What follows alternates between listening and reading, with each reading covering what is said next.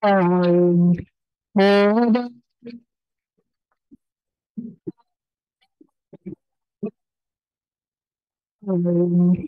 ờ, Đã. Ừ.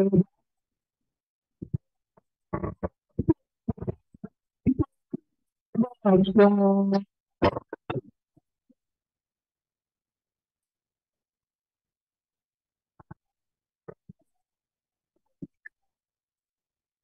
and the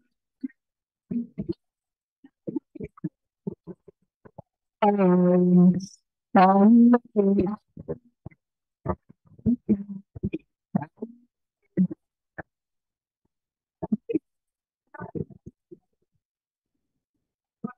the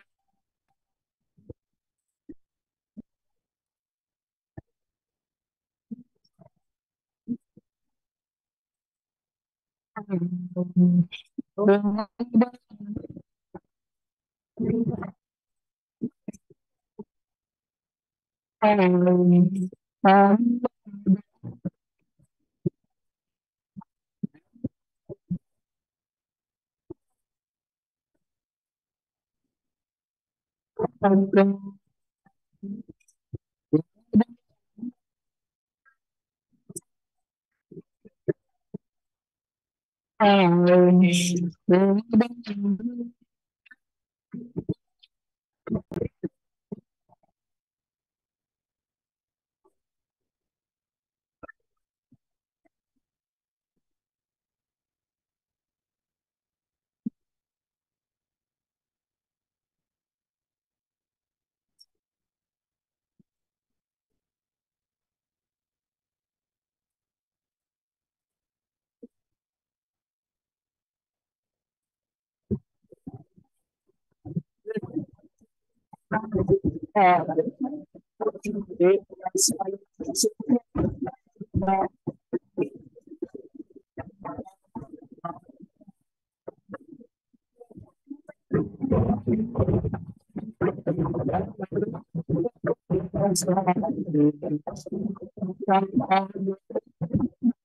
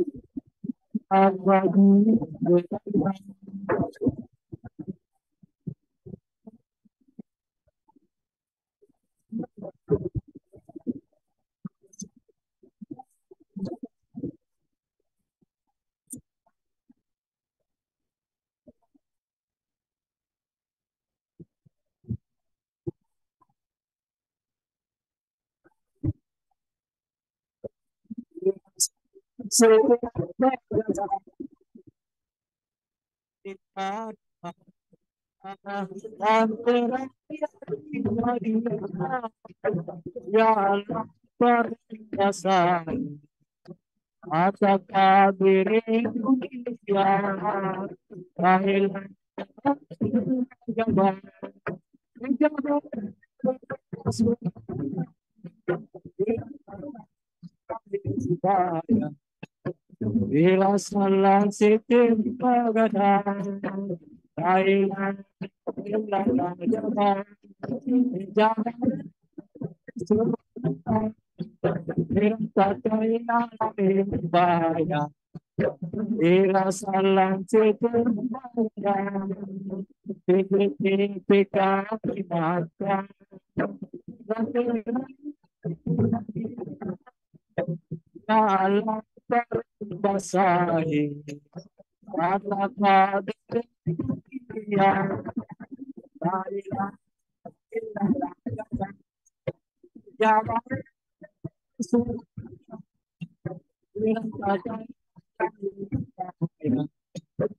Bila salah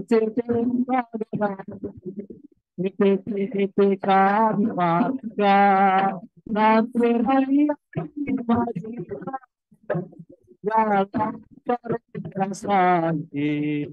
Nata diri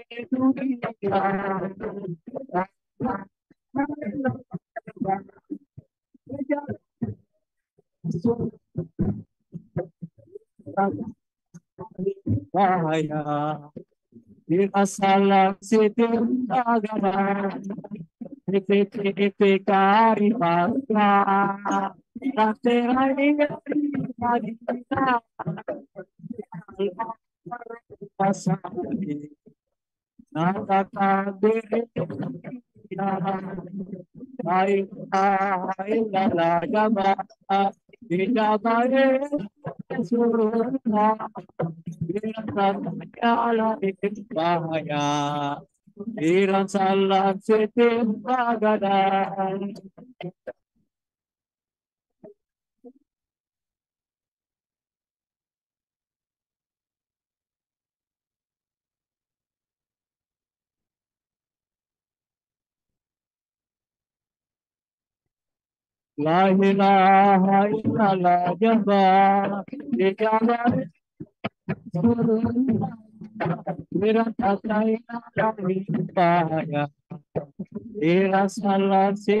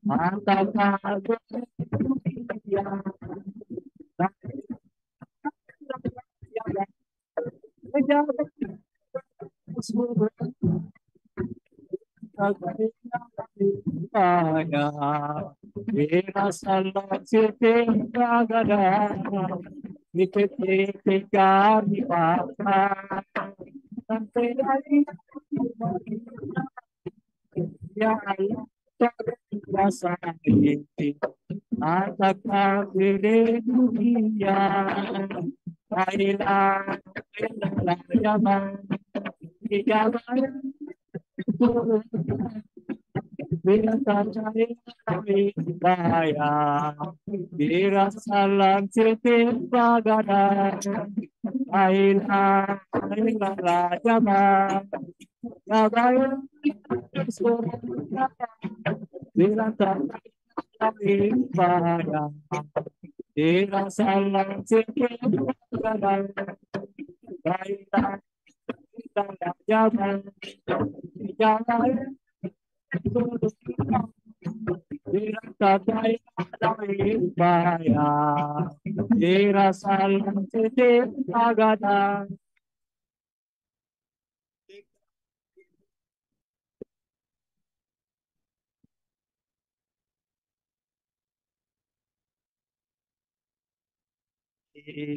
आता का बेरे दुनिया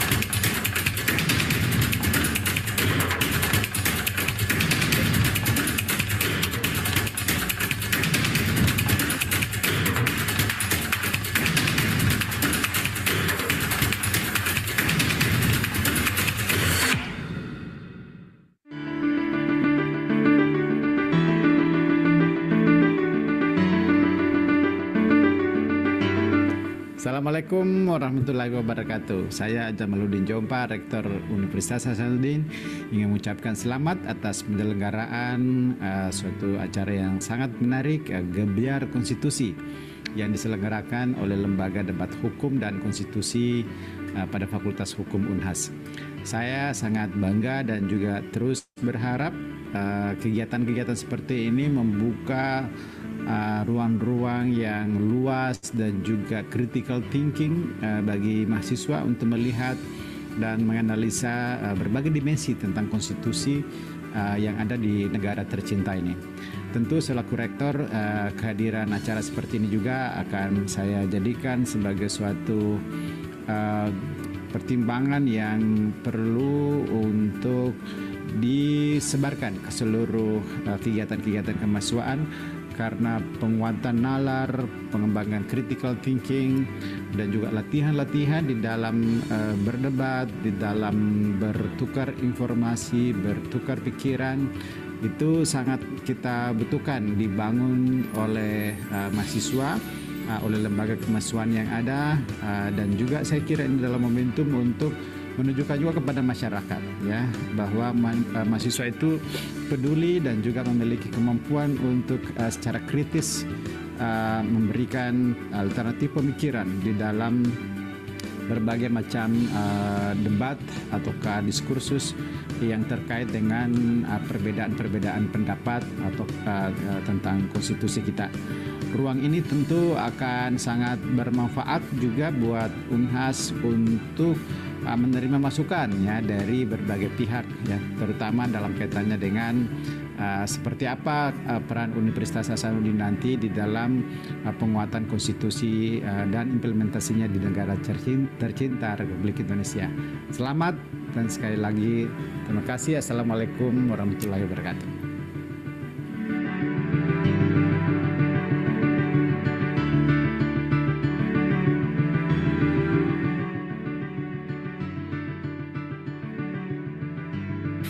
Kompetisi ini bukan hanya mencari pemenang, tetapi juga sebagai wadah untuk menanamkan nilai konstitusi dan budaya sadar hukum, sehingga semakin memahami nilai mulia yang terkandung dalam konstitusi. Semoga kegiatan ini dapat melahirkan insan-insan hukum yang paham dan kritis terhadap isu-isu tentang konstitusi. Tentu sebagai pimpinan fakultas, saya ingin menyampaikan terima kasih dan penghargaan yang setinggi-tingginya kepada Mahkamah Konstitusi Republik Indonesia mulai dari pimpinan dan seluruh jajarannya dan secara khusus kepada anak-anakku sekalian pengurus UKM Ledak Fakultas Hukum Unhas yang telah bersusah payah menyukseskan terselenggaranya kegiatan Gabiar Konstitusi yang ketujuh ini. Patuh pada nomokrasi setia pada demokrasi, bersatu di bawah konstitusi. Wassalamualaikum warahmatullahi wabarakatuh. Assalamualaikum warahmatullahi wabarakatuh dan salam Pancasila. Setelah tiga tahun tidak terlaksana, kini 2023, Gebiar Konstitusi kembali hadir sebagai sarana menggali ide dan gagasan mahasiswa terbaik bangsa demi perubahan arah konstitusi Indonesia yang kompetitif dan konstruktif. Gebiar Konstitusi ke-7 tahun 2023 penyelenggaraannya dipercayakan kepada Lembaga Debat Hukum dan Konstitusi Fakultas Hukum Universitas Hasanuddin bekerja sama dengan Mahkamah Konstitusi Republik Indonesia. Saya ucapkan selamat datang kepada delegasi Gebiar Konstitusi 7 Semoga delegasi dapat berkompetisi dengan baik dan menyukseskan pelaksanaan Gebiar Konstitusi ke-7 tahun 2023. Ledak, lawan bicara, kawan berpikir.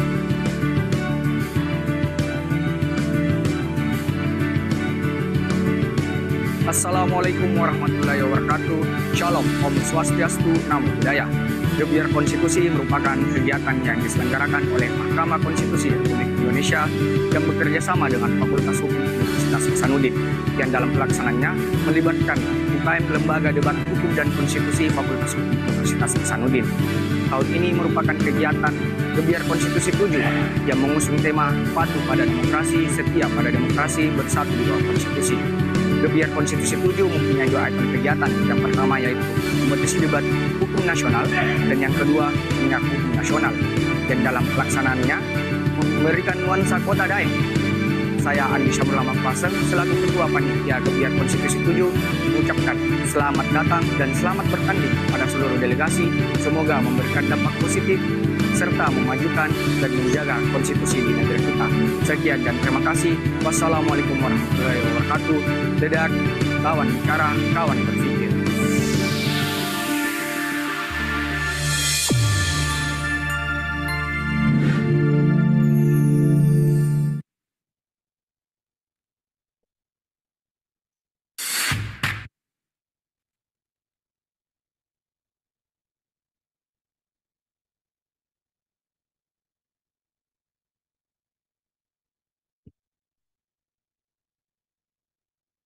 Yang terhormat, Yang Mulia Hakim Konstitusi Republik Indonesia, Bapak Profesor Dr. M. Guntur Hamzah, SH, MH. Yang kami hormati, Dekan Fakultas Hukum Universitas Hasanuddin, yang dalam hal ini diwakili oleh Wakil Dekan Bidang Kemitraan, Riset dan Inovasi, Ibu Dr. Ratnawati SHMH. Yang kami hormati, Ketua Umum Lembaga Debat Hukum dan Konstitusi, Fakultas Hukum Universitas Hasanuddin.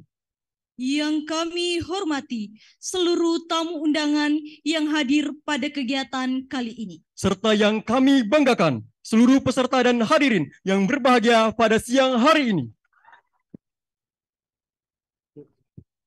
Assalamualaikum warahmatullahi wabarakatuh.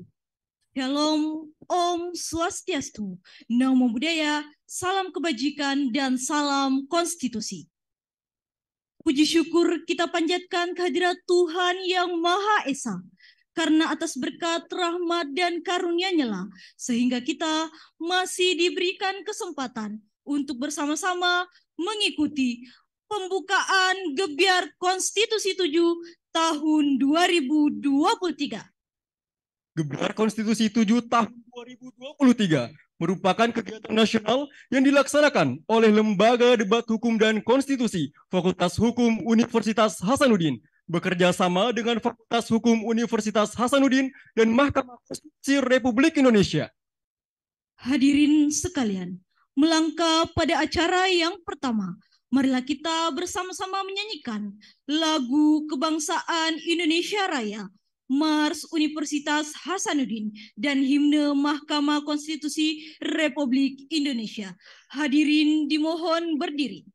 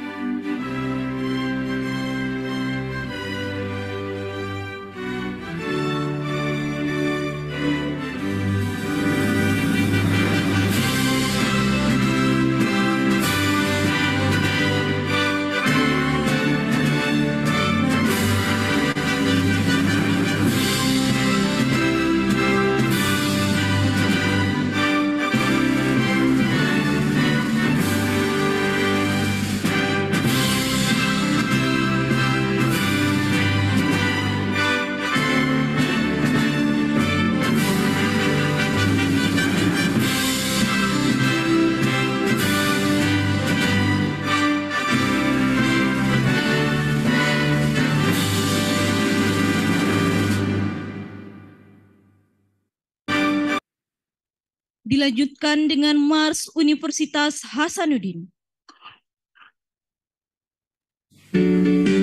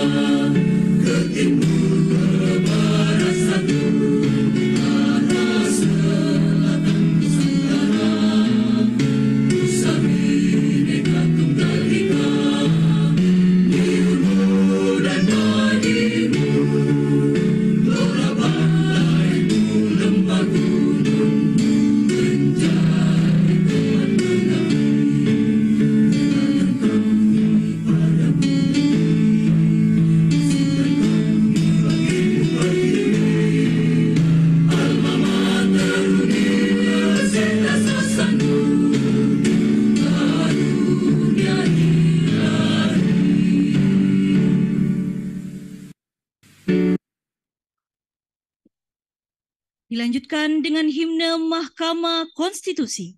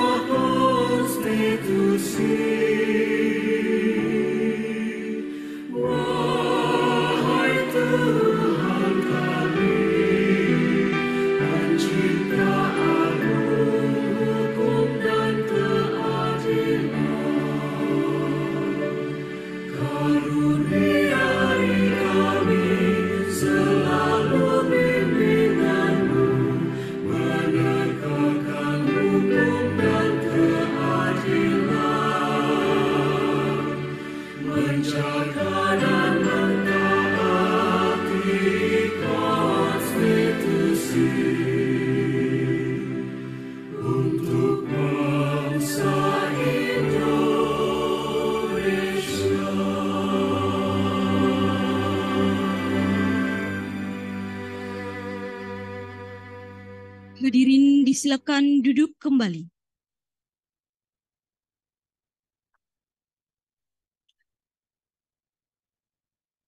Baik, jalannya sebuah kegiatan tentu tidak luput dari izin dan rahmat yang Tuhan berikan. Keniscayaan tersebut harus terus terpanjatkan dalam lantunan doa.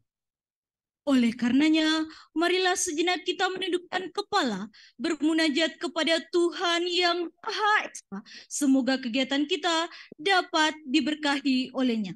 Yang akan dipandu oleh saudara Muhammad Arham. Kepada yang terhormat, dipersilahkan.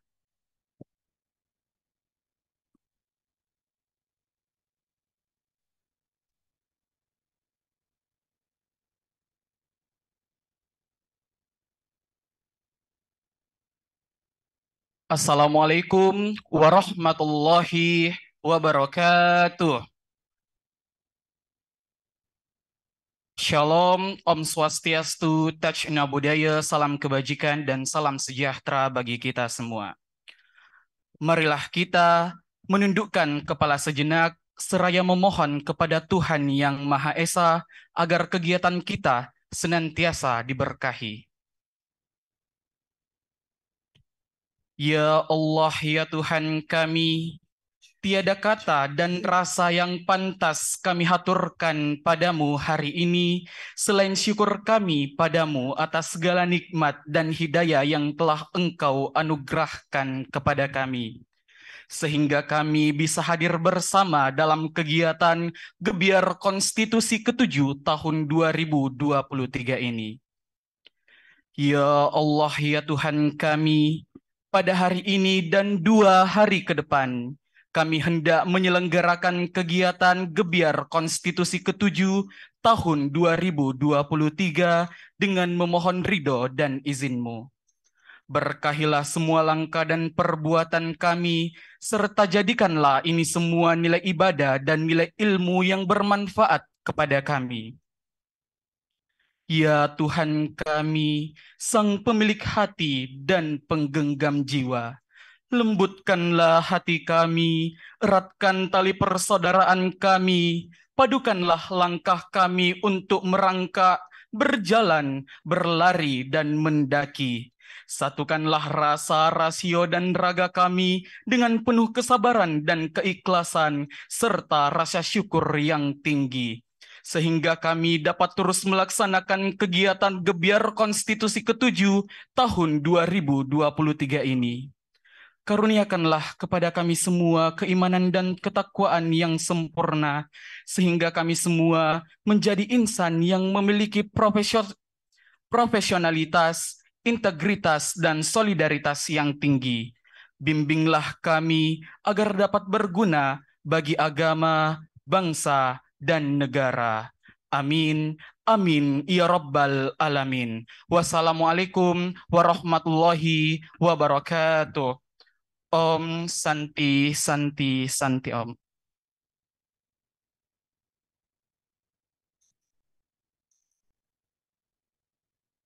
Hadirnya Gebiar Konstitusi 7 tahun 2023 berkaitan erat dengan kinerja panitia di balik layarnya. Bagaikan pintalan benang yang saling berkaitan, terajut menghasilkan mahakarya hebat.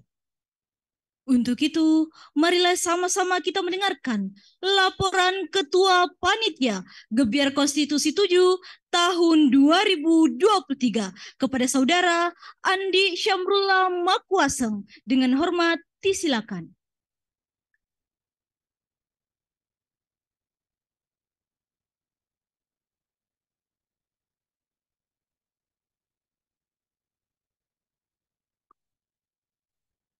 Cek.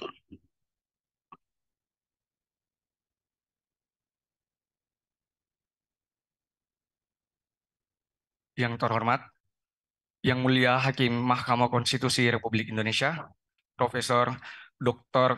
M. Guntur Hamzah SAMH, yang saya hormati Dekan Fakultas Hukum Universitas Hasanuddin, yang dalam hal ini diwakili oleh Wakil Dekan Bidang Kerjasama, Riset, dan Inovasi, Ibunda Dr. Ratnawati SHMH, yang saya hormati Dewan Pembina Lembaga Debat Hukum dan Konstitusi Fakultas Hukum Universitas Hasanuddin, Ayahanda Dr.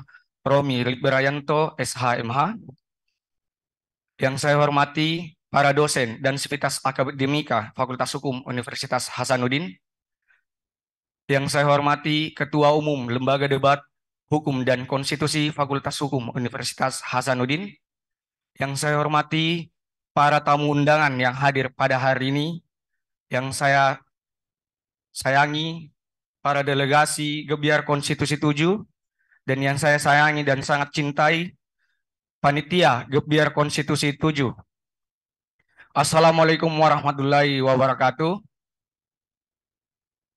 Shalom Om Swastiastu, Namo Buddhaya, Salam Kebajikan.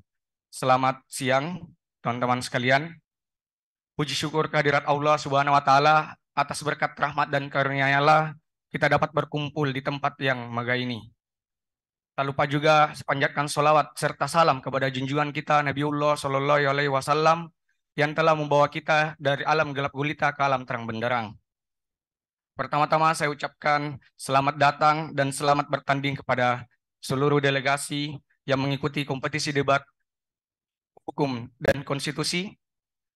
Dan saya juga ucapkan selamat datang kepada seluruh hadirin. Dan saya juga ucapkan terima kasih banyak kepada seluruh panitia yang sudah bekerja keras menyukseskan kegiatan ini. Karena tanpa mereka lah kegiatan ini akan berjalan dengan baik. Gebiar Konstitusi 7 merupakan kegiatan yang diselenggarakan oleh Mahkamah Konstitusi Republik Indonesia yang bekerja sama dengan Fakultas Hukum Universitas Hasanuddin yang dalam hal ini melibatkan UKM Lembaga Debat Hukum dan Konstitusi Fakultas Hukum Universitas Hasanuddin. Alhamdulillah patut bangga dan bersyukur karena sudah tiga tahun gebiar konstitusi terhenti dikarenakan pandemi COVID-19. Dan di tahun ini kita bisa melaksanakannya lagi. Dan tahun ini Gebiar Konstitusi 7 mempunyai dua item kegiatan. Yang pertama yaitu kompetisi debat nasional hukum dan konstitusi. Dan yang kedua yaitu seminar hukum nasional.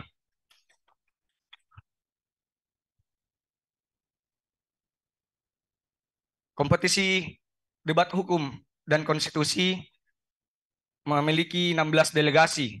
Di antara lainnya itu ada Universitas Indonesia, Udayana, Gorontalo, Gajah Mada, dan Universitas Sulawesi Barat, Universitas Patimura, UIN Alauddin Makassar, UIN Sunan Kalijaga, Yogyakarta, Universitas Surabaya, Universitas Tadulako, Universitas Hairun, Universitas Muslim Indonesia, IAIN Bone, STHI Jentera, Universitas Samratulangi, dan Universitas Mula Warman.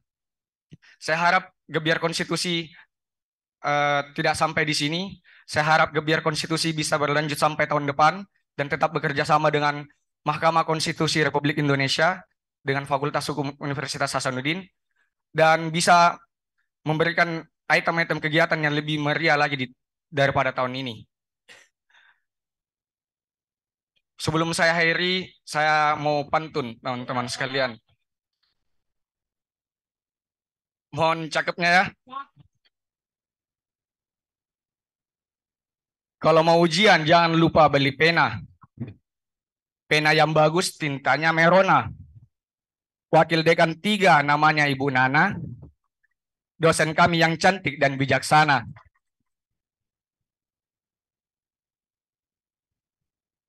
Satu lagi teman-teman.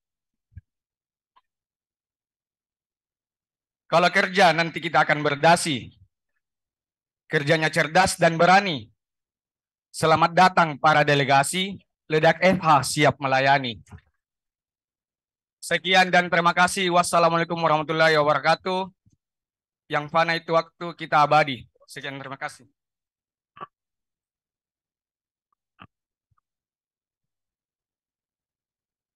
Terima kasih kami ucapkan untuk laporan yang telah diberikan.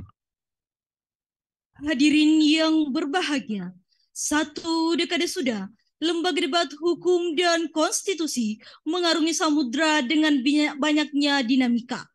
Kesuksesan ledak hingga saat ini tidak terlepas dari peran sang nahkoda lembaga itu sendiri. Untuk itu, marilah kita bersama-sama mendengarkan sambutan Lembaga Debat Hukum dan Konstitusi Fakultas Hukum Universitas Hasanuddin. Kepada Saudara Akbar Kurniawan, dengan hormat dipersilakan.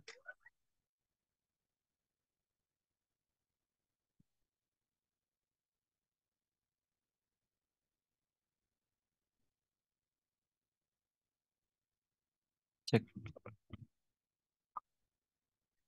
Yang terhormat Hakim Mahkamah Konstitusi Yang Mulia Profesor Dr. M. Guntur Hamsa SHMH Yang kami hormati Dekan Fakultas Hukum Universitas Hasanuddin dalam hal ini diwakili oleh Wakil Dekan Bidang Kemitraan, Riset dan Inovasi, Ibunda Dr. Ratnawati SHMH, yang kami hormati Dewan Pembina Lembaga Debat Hukum dan Konstitusi Fakultas Hukum Universitas Hasanuddin, Ayahanda Dr. Romi Librayanto SHMH, yang kami hormati Ketua Panitia Gebiar Konstitusi ke-7 tahun 2023, Saudara Andi Syamrullah.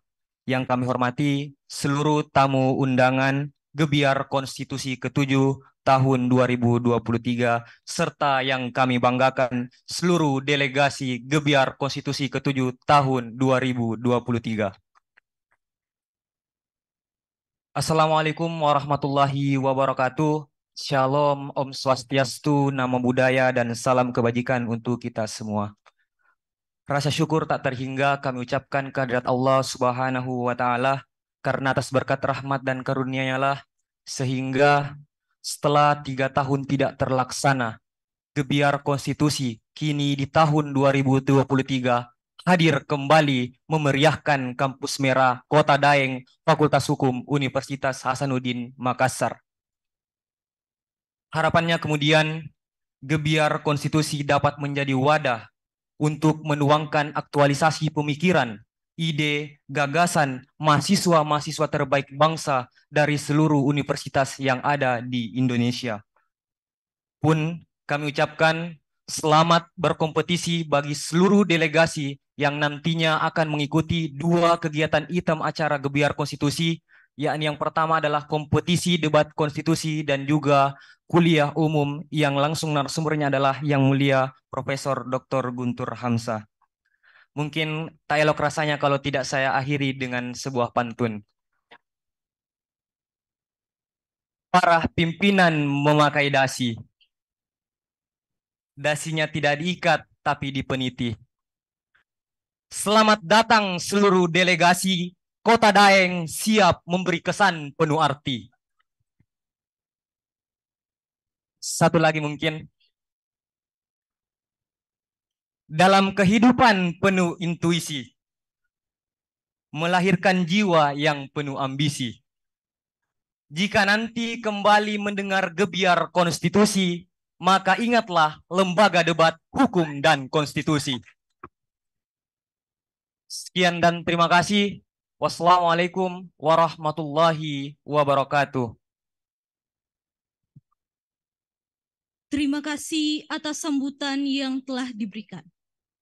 Hadirin yang terhormat, Ledak Fakultas Hukum Universitas Hasanuddin memiliki sosok yang selalu mengayomi, mengarahkan, memberikan ide serta gagasan yang luar biasa, sehingga Ledak masih menjadi salah satu lembaga terbaik di Indonesia. Untuk itu, kami undang dengan hormat Dekan Fakultas Hukum Universitas Hasanuddin yang dalam hal ini diwakili oleh Wakil Dekan Bidang Kemitraan, Riset dan Inovasi oleh Ibu Dr. Ratnawati SHMH. Kepada Ibu dengan hormat disilakan.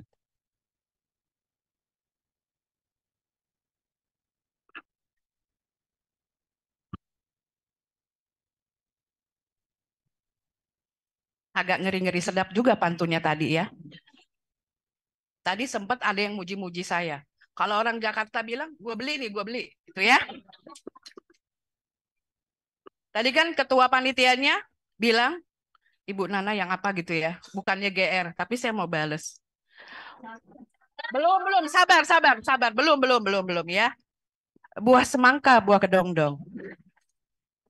Kalau ingin memuji, nggak usah kayak gitu-gitu dong. Ya. Nanti akan diakhiri lagi oleh pantun lagi. Soalnya belum sempat memberikan sambutan lain atau kalau terlalu banyak pantun. Bagaimana yang mulia? Kira-kira sudah siap pantunnya? ya, bismillahirrohmanirrohim. Yang terhormat eh, guru saya, yang mulia Hakim Mahkamah Konstitusi Republik Indonesia, Bapak Profesor Dr. Muhammad Guntur Hamsa SIMH, Selamat datang Prof, selamat pulang ke rumah. Yang kedua, eh, selamat datang juga kepada Bapak Dr. Fajar Laksono SHMH, beliau adalah Kabak Humas Kerjasama Dalam Negeri. Izin Mas, selamat datang. Dan rombongan dari Mahkamah Konstitusi. Yang terhormat, eh, para lembaga negara dalam hal ini pada penegakan hukum sekota Makassar, kemudian yang terhormat Bapak dan Ibu dosen yang sempat berkenan hadir pada uh, acara siang hari ini. Tak lupa juga yang terhormat yang saya banggakan Ketua Ledak FHUH Ananda Akbar Kurniawan yang pakai kacamata juga ya. Hari ini sama saya juga pakai kacamata karena saya tidak bisa membaca kalau saya nggak kacamata. Kemudian yang saya cintai, Ketua Gebiar Konstitusi ada Ana, Ananda ini nih yang tadi muji-muji saya ya, tapi biar bagaimana tidak terpengaruh dengan mata kuliah yang Anda ambil di saya. Ya, ada Ananda, Andi Samrullah Makuseng dan tentunya seluruh panitia Gebiar Konstitusi ketujuh tahun 2023 beserta seluruh jajaran panitia. Bagaimana? Semangat? Kurang keras. Ya, terima kasih. Mohon izin yang mulia supaya tambah semarak begitu ya mulia.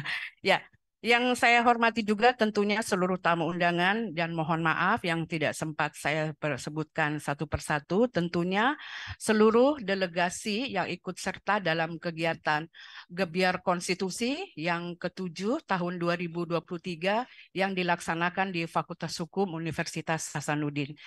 Assalamualaikum warahmatullahi wabarakatuh. Selamat siang dan salam sejahtera buat kita semua. Om Swastiastu, Namo Buddhaya dan salam salam Pancasila serta salam kebajikan. Uh, Gebiar Konstitusi yang ketujuh tahun 2023 ini kembali dilaksanakan Terakhir ini Gebiar Konstitusi dilaksanakan kalau tidak salah tahun 2019, tetapi itu tidak bisa terlaksana, baru tahun ini dilaksanakan kembali karena apa? Karena ada COVID di antara kita. Ya. Dan rangkaian kegiatan uh, Gebiar Konstitusi ini adalah hari ini setelah acara pembukaan akan dilanjutkan dengan seminar nasional yang akan disampaikan oleh Yang Mulia Hakim Mahkamah Konstitusi Republik Indonesia Bapak Profesor Dr. M. Guntur Hamsa SMH. Kemudian mulai besok sampai hari Minggu itu akan diadakan lomba debat konstitusi. Ya. Kemudian saya mempunyai harapan bagi para pengurus UKM Ledak Semoga terus menjadi wadah peningkatan potensi dan prestasi mahasiswa di dalamnya serta terus untuk berkolaborasi mewujudkan kegiatan-kegiatan yang membawa harum nama alma mater tercinta. Mohon izin yang mulia dan yang lainnya karena ada asan kita break sejenak sekaligus saya mikir-mikir kira-kira pantunnya nanti apa nih kalau di akhir nih.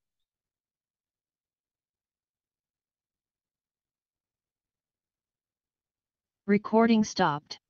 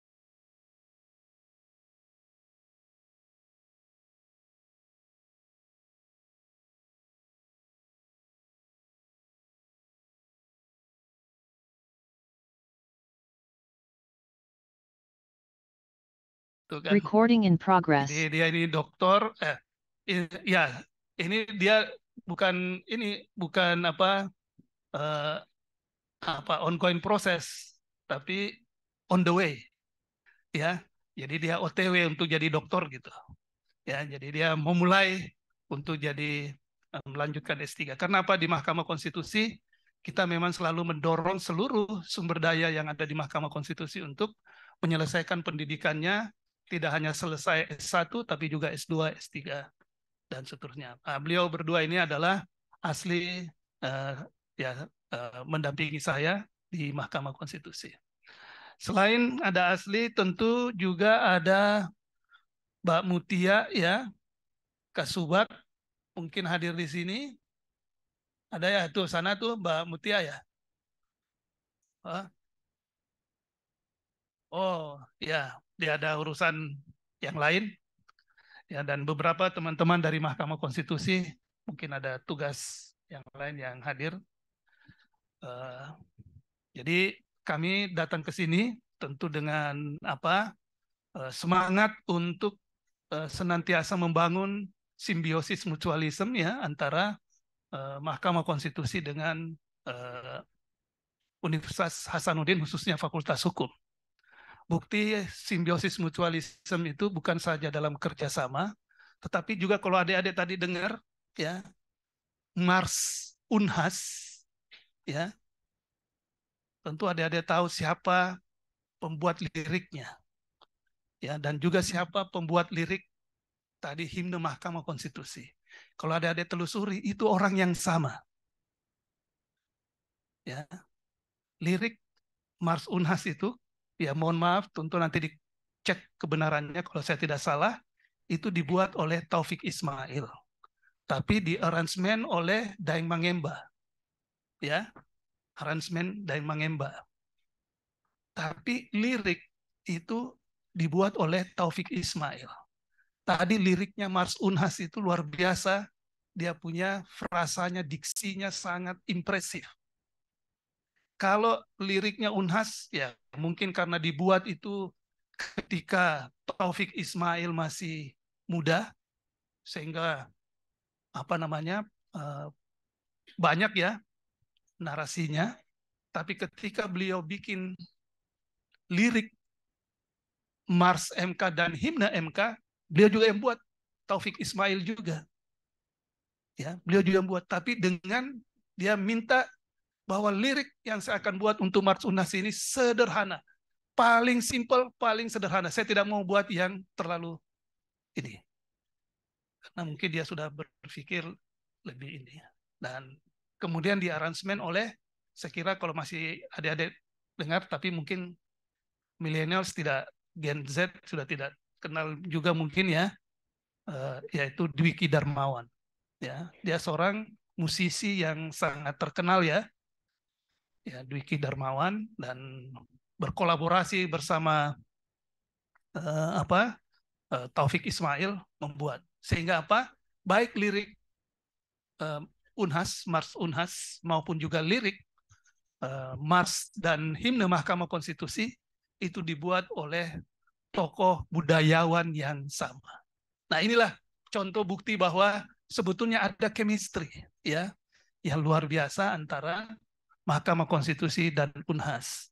Belum lagi kalau saya bercerita bahwa ya dua hakim konstitusi sebelumnya tiga dengan saya itu adalah alumni-alumni dari Unhas.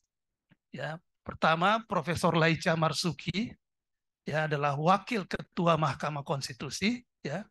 Kemudian ada Profesor Aswanto ya yang saya hormati dan saya banggakan Salam hormat saya Bu Dekan ya, Bu Wadek kepada Profesor Arwanto senior saya yang saya hormati dan saya banggakan.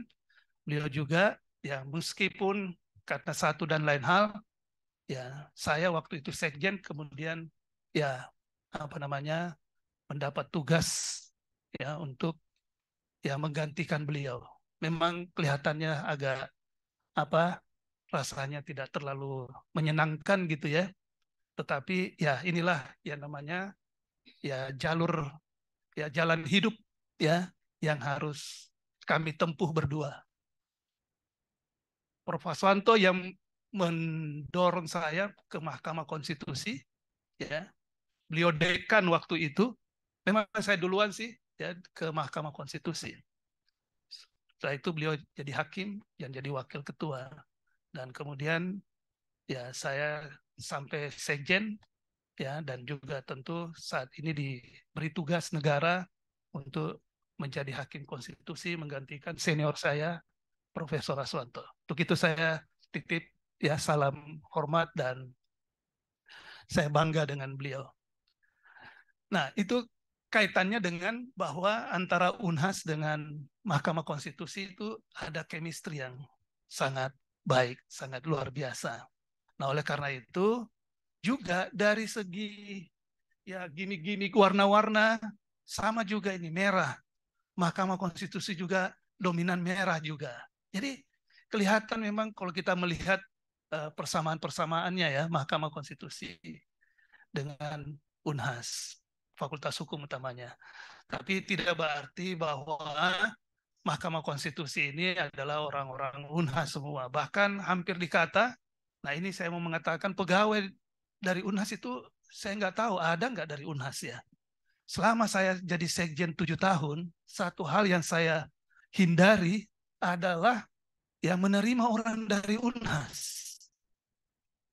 Karena apa? Saya khawatir nanti dikira saya ada apa namanya hubungan arus pendek gitu ya jadi saya menghindari tapi alhamdulillah juga tidak ada juga yang apa namanya yang apa mencoba untuk menjadi pegawai di UNAS selama saya tujuh tahun. Lebih menjadi sekretaris jenderal ya. Nah, tetapi tentu untuk program-program kerjasama kajian-kajian dan sebagainya tentu Mahkamah Konstitusi inilah bukan milik satu perguruan tinggi saja, milik seluruh perguruan tinggi di tanah air kita.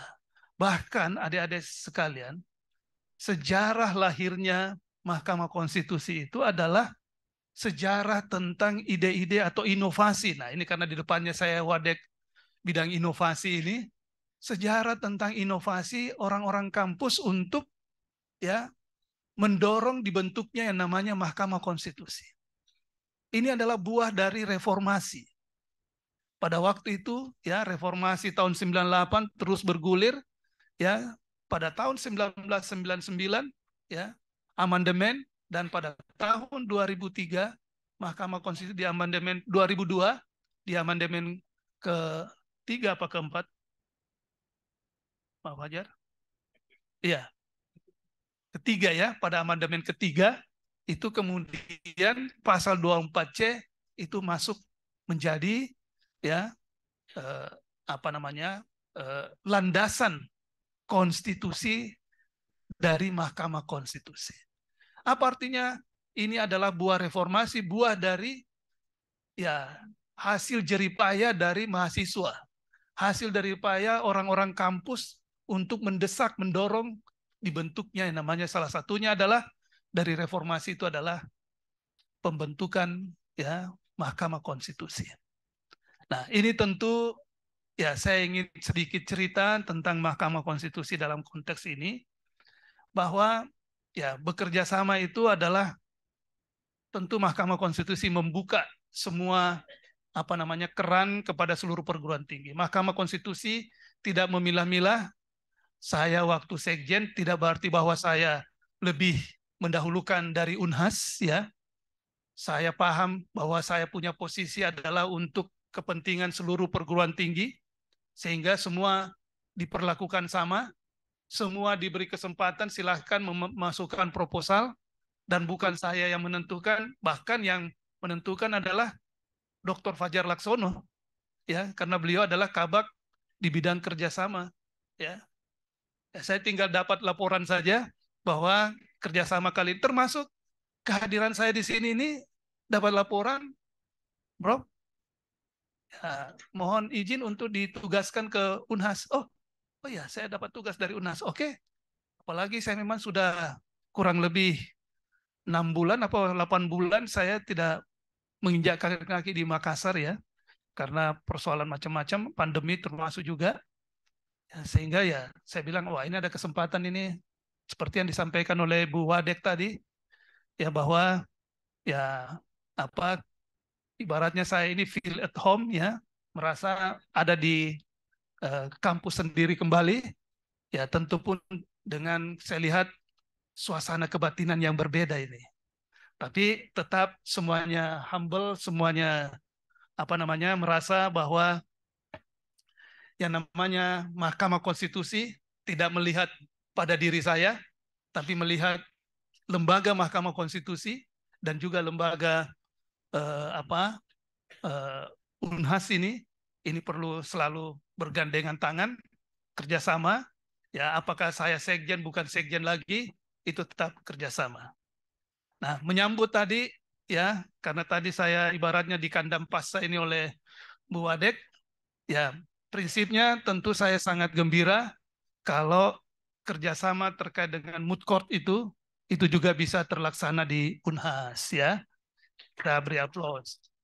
Meskipun demikian tentu ya ada prosedur-prosedurnya yang harus ditempuh ya yang tentu nanti akan sepenuhnya ada pada uh, Biro Humas dan Protokol. Kebetulan PLT Sekjen ya PLT Sekjennya ini adalah Kepala Biro Humas dan Protokol. Tentu juga eh, karena Dr. Fajar Laksono juga ada di Biro Humas dan Protokol, bahkan beliau adalah kabaknya, maka tentu ya prosesnya ada sama beliau. Ya, jadi ya saya menyerahkan sepenuhnya. Mudah-mudahan ya dengan kemampuan anggaran yang ada pada Mahkamah Konstitusi biasanya itu ya Bu Ratna uh, anggarannya saja. Kalau ada anggaran dengan ada proposal, ya tentu akan Mahkamah Konstitusi akan apa namanya mendorong. Tentu juga setelah melihat distribusi dari uh, apa dari perguruan tinggi perguruan tinggi yang lain yang ada di tanah air kita. Jadi saya kira seperti itu. Mudah-mudahan ya kita doakan bersama.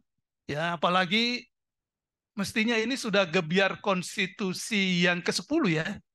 Karena tiga tahun apa namanya tertunda sehingga masih tetap gebiar konstitusi yang ke-7. Tapi tadi saya hampir saja melihat ini bukan gebiar konstitusi. Ini saya bisa melihat tadi menangkapnya ini gebiar pantun konstitusi kalian. Ya, karena mulai dari ketua panitia ya, kemudian ketua ledak. Ini ketua ledak namanya aja ledak gitu kan, lembaga debat konstitusi ya apalagi luar biasa dari Ibu Wadek Tiga saya pikir saya tuh kenal dengan Ibu Wadek Tiga itu orangnya pendiam dan pemalu ya selama ini yang saya kenal itu orangnya adalah ya Ibu Ratna itu orangnya pendiam dan tertampil tadi ternyata bukan malu-maluin tetapi luar biasa hebatnya gitu ya Nah, saya pikir ini sudah ada tanda-tanda calon rektor kelihatannya nanti amin. ya, ya dia luar biasa. Nah, itu saya kira ya yang ingin saya sampaikan pada kesempatan hari ini. Tapi karena saya kan nanti ditugasin lagi untuk memberikan apa sedikit materi ya. Ini yang agak santai-santainya di sambutan saja ya. Nggak usah pakai yang materi yang serius-serius. Karena ini pembukaan, jadi yang apa saja santai-santai saja. Yang terpenting saya ingin menyampaikan bahwa saya pengen tolong salam hormat dan bangga saya kepada Profesor Aswanto ya. Dan juga tentu kalau ketemu sama Prof. Laica karena kami sama-sama. Dan juga kepada Pak Dekan ya, Profesor Hamzah Halim, Dekan ya yang sekarang memimpin Fakultas Hukum, adik saya itu, adik junior ya. Uh, tetapi beliau sudah sekarang dekan menjadi ya kalau di kampus ini tentu pimpinan saya ya dan salam hormat juga kepada seluruh kolega-kolega uh, dosen ya karena hari ini bersama dengan apa pemakaman ya dari dosen kebanggaan kita juga yaitu almarhum Profesor Dr. Muhammad Asri karena seangkatan dengan saya. Dan juga tentu saya uh, salam hormat kepada seluruh uh, apa sivitas akademika Fakultas Hukum dan tentu kerjasama antara Fakultas Hukum Unhas dengan Mahkamah Konstitusi, saya selalu mendorong untuk ini bisa terlaksana ya. Dan mudah-mudahan eh, di masa-masa yang akan datang jauh usah di masa yang akan datang kelamaan karena besok pemilu kayaknya agak sibuk eh, apa Mahkamah Konstitusi tahun ini aja.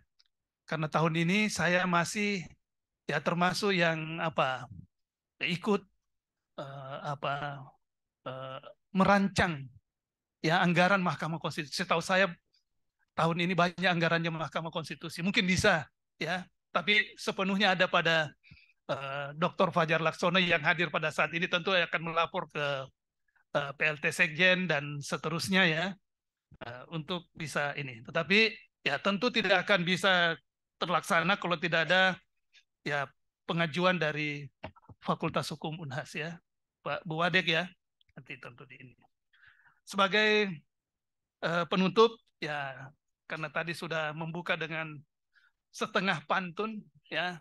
Nah sekarang ini untuk menjawab pantunnya eh, apa ketua panitia dan ledak nih ya dan tentu ada di sekalian. Tapi saya begitu kalau menyampaikan pantun ada syaratnya. Apa syaratnya? Nah, itu dia. Jumat siang terbang dari Jakarta ke Makassar rute yang dituju. Selamat datang para peserta di acara Gebiar Konstitusi ke-7. Eh, mau lagi? Oke. Bunga sekuntum, bunga cempaka. Bunga sepatu, indah terawat. Kerjasama Fakultas Hukum dan MK. Untuk Unhasku bersatu Unhasku kuat. Itu ya, gitu ya. Lagi. Apa jabatannya beliau ini? Berani-beraninya minta lagi gitu. Apa jabatannya nih? Oke, supaya tidak kecewa saya kasih pantun. Yang memang saya sudah sediakan. Hujan lebat, hujan petir. Minum saraba sembari bergembira. Lawan debat itu kawan berpikir. Selamat berlomba, semoga jadi juara.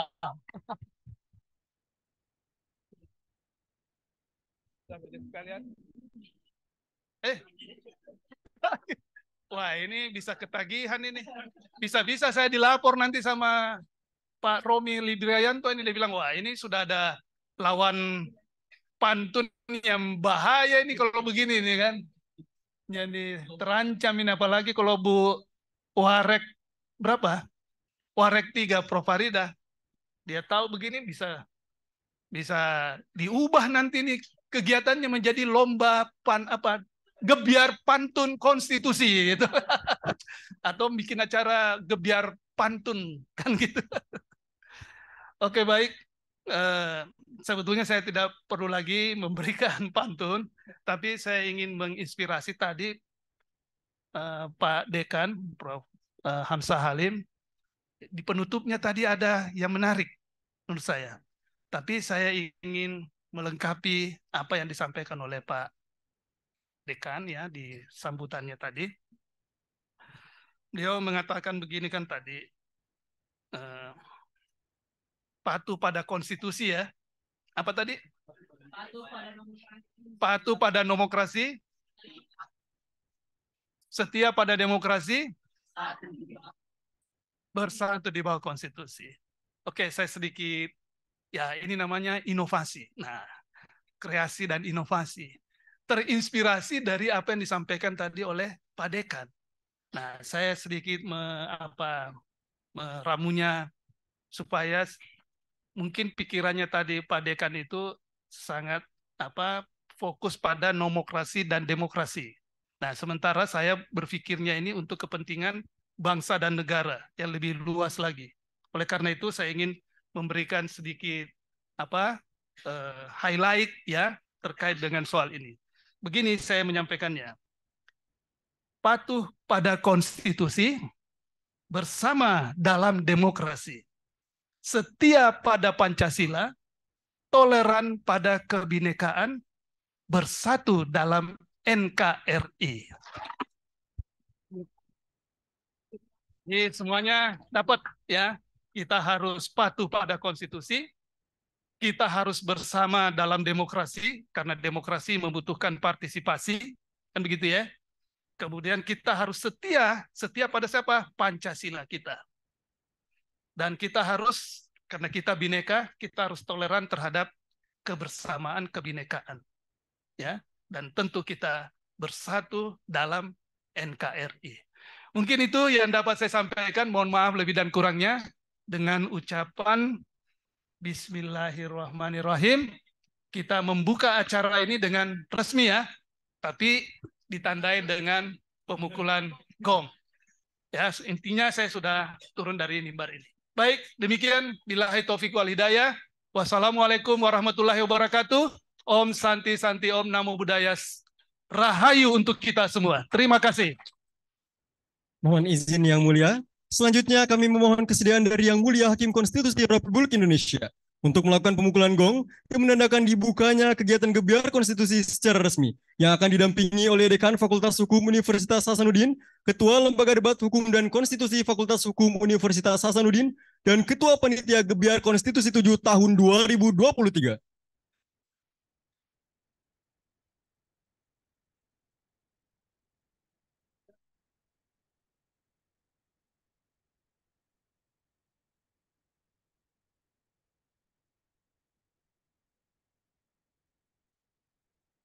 Thank you.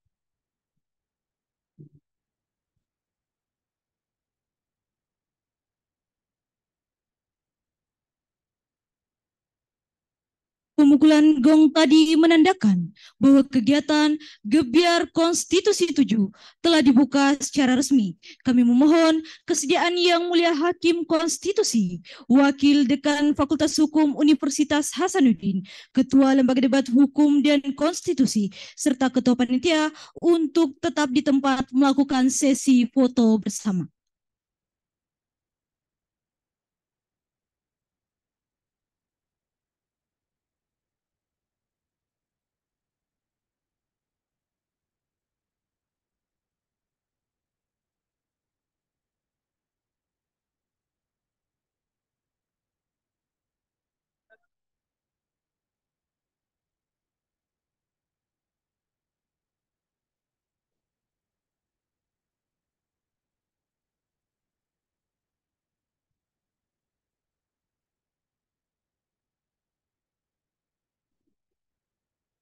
Terima kasih kami ucapkan atas kesediaan Bapak dan Ibu. Untuk Bapak dan Ibu, kami silahkan untuk kembali ke tempat duduk.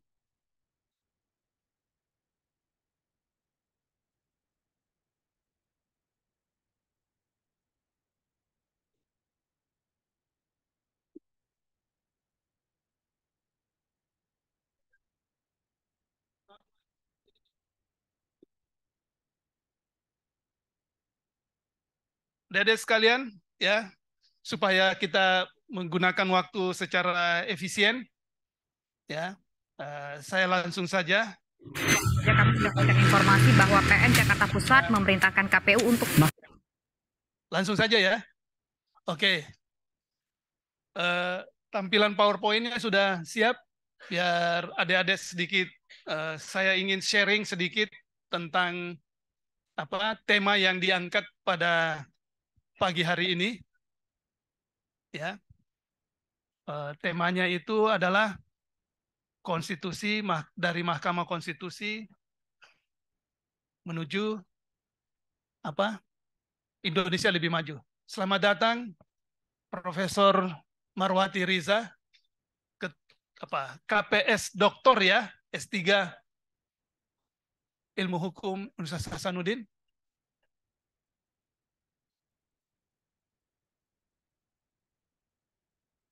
Iya, iya. Dari Melayat ya. Oke.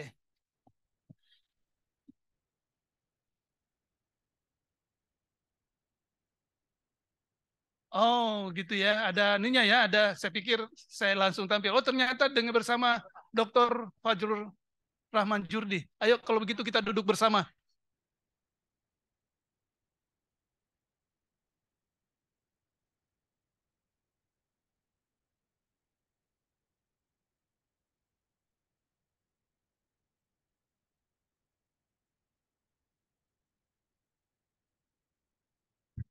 Sebenarnya bagus juga langsung tadi, Prof.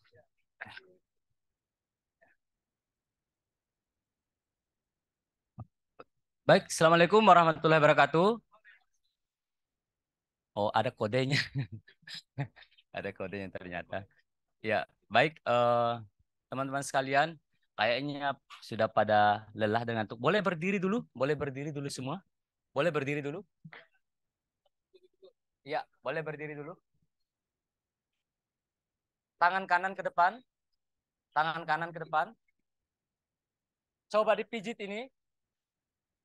Dipijit. Satu. Lima belas kali lah. Dua. Tiga. Empat. Lima. Enam. Tujuh. Delapan. Sembilan. Sepuluh. Sampai kerasa. Sebelas. Dua belas. Tiga belas. Empat belas. Lima belas. Sebelahnya lagi.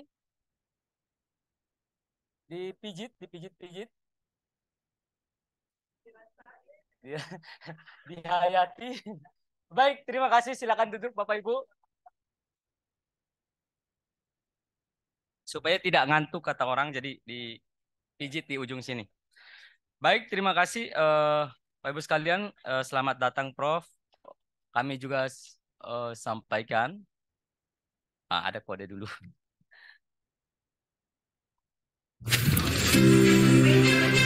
Selamat datang di Kuliah Umum Gebiar Konstitusi 7. Kuliah umum tahun ini mengangkat tema menuju pemilihan umum yang demokratis dari konstitusi oleh Mahkamah Konstitusi untuk kemajuan negeri.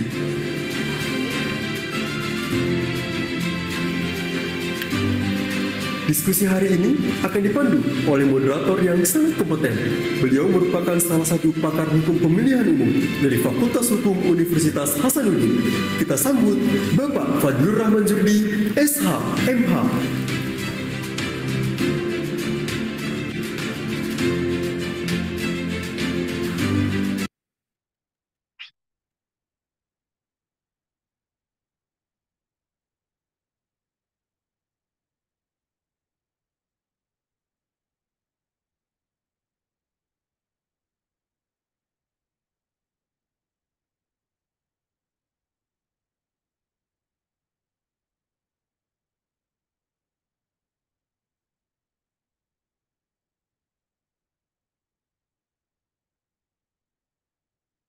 Kuliah umum kali ini merupakan Hakim Mahkamah Konstitusi sekaligus guru besar di bidang hukum administrasi negara dan hukum tata negara di Fakultas Hukum Universitas Hasanuddin.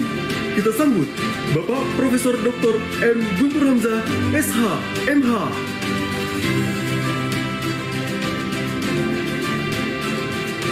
Kuliah Umum Gebiar Konstitusi 7 tahun 2023.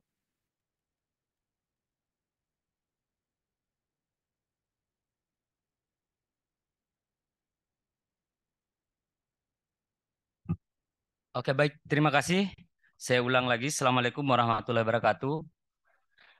Eh, yang kami hormati, yang mulia Bapak Profesor Dr. Muhammad Guntur Hamzah SHMH.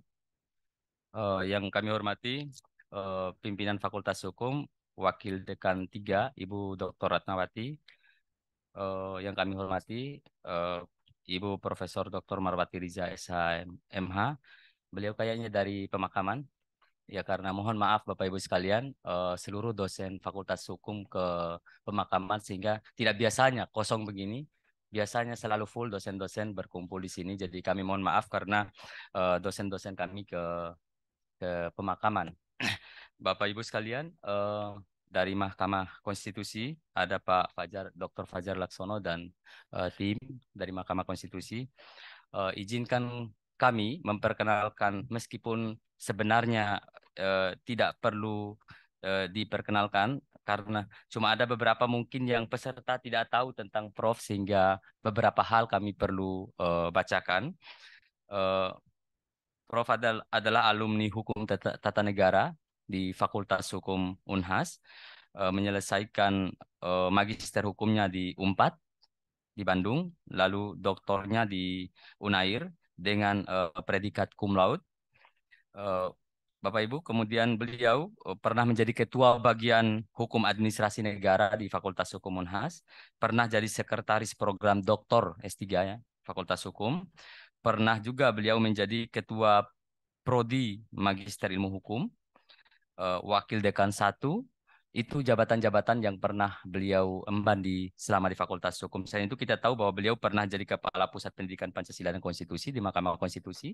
Beliau juga pernah menjadi Kepala Pusat Penelitian dan Pengkajian Perkara di Mahkamah Konstitusi dan uh, terakhir di Mahkamah Konstitusi sebelum menjadi Hakim MK adalah Sekretaris Jenderal Mahkamah Konstitusi. Saat ini beliau juga menjadi Ketua Umum Pengurus Pusat Asosiasi Pengajar HTN beliau juga uh, baru-baru menjadi ketua Ikatan Alumni Sekolah Pasca Sarjana uh, Universitas Airlangga. Jadi uh, kita beri aplaus kepada Prof. Baik Bapak Ibu sekalian, uh, karena kuliah kita pada sore hari ini adalah tentang pemilu yang demokratis dari konstitusi oleh Mahkamah Konstitusi konstitusi untuk kemajuan negeri, uh, maka mari kita dengarkan secara seksama apa yang akan disampaikan oleh Prof. Mungkin waktunya izin Prof ini 16.09, mungkin 16.40 nanti mohon izin saya ingatkan karena ada sesi tanya jawab sisa uh, 20 menit sehingga nanti jam 17 kita selesai supaya kita bisa range waktu ada untuk sholat asar. Terima kasih. Waktu dan tempat kami persilakan Prof. Ya, baik. Terima kasih uh, saudara Fajrul Rahman Jurdi. Fajrul Rahman Jurdi ini adalah dosen yang luar biasa ya, memiliki talenta dan tentu memiliki apa eh, karya-karya ilmiah yang luar biasa ya. Salah satu dosen yang sangat produktif ya, uh, menulis buku dan saya pikir adik-adik semua dari berbagai perguruan tinggi di tanah air kita ini patut mencontoh sama uh, Dr. Fajrul Rahman Jurdi ya dan beliau sangat produktif. Uh, Ibu Bapak sekalian, Ibu Bapak dosen, Prof Marwati, ya, Bu Dr. Ratna, dan seluruh hadirin dosen-dosen dan adik-adik mahasiswa yang saya hormati dan saya banggakan. Uh, sesi kali ini adalah saya diminta untuk sedikit uh, sharing ya terkait dengan bagaimana kita melihat uh, pemilu ya yang akan berlangsung ya di 2024 dan bagaimana konsep uh, pemilihan umum yang kita pandang ideal atau terbaik kan seperti itu. Nah, pada kesempatan ini sesuai dengan temanya uh, tentu tidak terlalu banyak juga saya ingin sampaikan. Uh, tetapi saya pengen, pengen disclaimer dulu ya bahwa sebagai hakim tentu tidak akan tolong. Jangan bertanya kaitannya dengan perkara yang ada di Mahkamah Konstitusi ya. Karena saya tidak dalam kapasitas untuk menjawab. Meskipun saya bisa jawab ya sebagai akademisi tentu saya bisa menjawab. Tetapi bagaimanapun juga meskipun saya akademisi meskipun saya ada di dalam kampus tetapi juga tetap terikat dengan kode etik ya. Eh, Mahkamah Hakim Konstitusi untuk tidak berbicara tentang perkara. Ya. Baik, itu disclaimer-nya dan mudah-mudahan ada bisa ini. Nah, saya sudah menyiapkan adik-adik sekalian ya sedikit uh, bahan tayangan PowerPoint. Jadi ini uh, bahan tayangannya PowerPoint-nya ini ya judulnya pemilihan umum demokratis ya. Nah, berbicara tentang pemilihan umum demokratis, ya kita selalu berbicara tentang ya konsep negara hukum kita ya. Negara hukum kita ini negara hukum yang demokratis dan negara demokrasi yang ya bersendikan atau berasaskan konstitusi. Nah, makanya Pak Dekan menyampaikan tentang setia pada demokrasi, demokrasi kan gitu. Bicara demokrasi, kita berbicara tentang negara hukum, rule of law, kita berbicara tentang Rechtsstaat, ya. Berbicara demokrasi, tentu kita akan berbicara tentang partisipasi dan seterusnya. Oleh karena itu, sebelum saya memulai, saya ingin meng-highlight ya pandangan dari tokoh-tokoh ya eh, tokoh filsuf ya filsuf yang saya cantumkan di sini ada ya Plato ya Plato ini tri, trium filsuf itu ada Socrates, Plato, Aristoteles ya. Adik-adik tentu paham. Nah, salah satu seperti yang dikemukakan oleh Plato. Plato mengatakan bahwa one of the yeah, one of the penalties for refusing to participate in politics is that you end up being governed by your inferior. Jadi apa yang disampaikan ini kaitannya dengan pemilu nih, pemilihan umum. Seperti kita ketahui, zamannya Plato ini, zamannya Socrates, zamannya Aristoteles itu masih ada yang namanya polisea, ya negara kota. Tetapi mereka sudah meletakkan ya dasar yang sangat fundamental tentang bagaimana ya esensi dari pemilu itu. Sehingga beliau mengatakan bahwa ya kalau kita terjemahkan secara bebas salah satu ya dia katakan one of the penalties salah satu hukuman sanksi penalti ya salah satu hukuman ya bagi mereka yang menolak berpartisipasi dalam politik ya ya adalah Anda harus siap-siap ya untuk diatur, untuk dipimpin ya oleh orang-orang yang tidak kapabel. Orang-orang yang menjadi inferior. Inferior adalah orang-orang yang tidak kapabel. Ya. Orang-orang di bawah Anda sendiri. Kan gitu. Ini peringatan pertama. Jadi jangan pernah merasa apatis, jangan pernah merasa resisten, jangan pernah merasa apa namanya putus asa untuk selalu berpartisipasi dalam politik. Karena partisipasi kita semua, seluruh warga negara itu akan menentukan ya perjalanan bangsa kita, menentukan siapa yang kita ya siapa pimpinan kita. Nah, nah oleh karena itu peringatan ini sudah diletakkan oleh Plato. Ya. Yang hidup 300 sebelum Masehi. Itu pertama. Kemudian yang kedua, ya juga saya kan juga ini ikut melihat TikTok, ya, TikTok. Ya, kata di TikTok itu, wah, sekarang ini banyak dosen kalau presentasi kayak ibaratnya menyampaikan apa? Menyampaikan koran. Ah, itu udah jadul katanya. Kalau itu yang keren itu presentasi harus mencantumkan dulu quote-quote gitu kan. Nah, ada pesan-pesan dulu sebelum masuk ke inti. Nah, ini juga saya menyampaikan dulu pesan-pesan mengikuti ilmunya yang disampaikan oleh YouTubers atau apa di TikTok yang saya lihat. Nah, sampaikan tiga quote dulu. Supaya ini untuk menginspirasi dan benar juga, ya menarik juga. Yang kedua, ya sebagaimana yang disampaikan oleh mantan Presiden Amerika Serikat, yaitu Theodore ya Roosevelt, ya. Jadi Roosevelt mengatakan a vote ya is like a rifle. Sebuah suara ibarat senapan, ya. Ibaratnya senapan.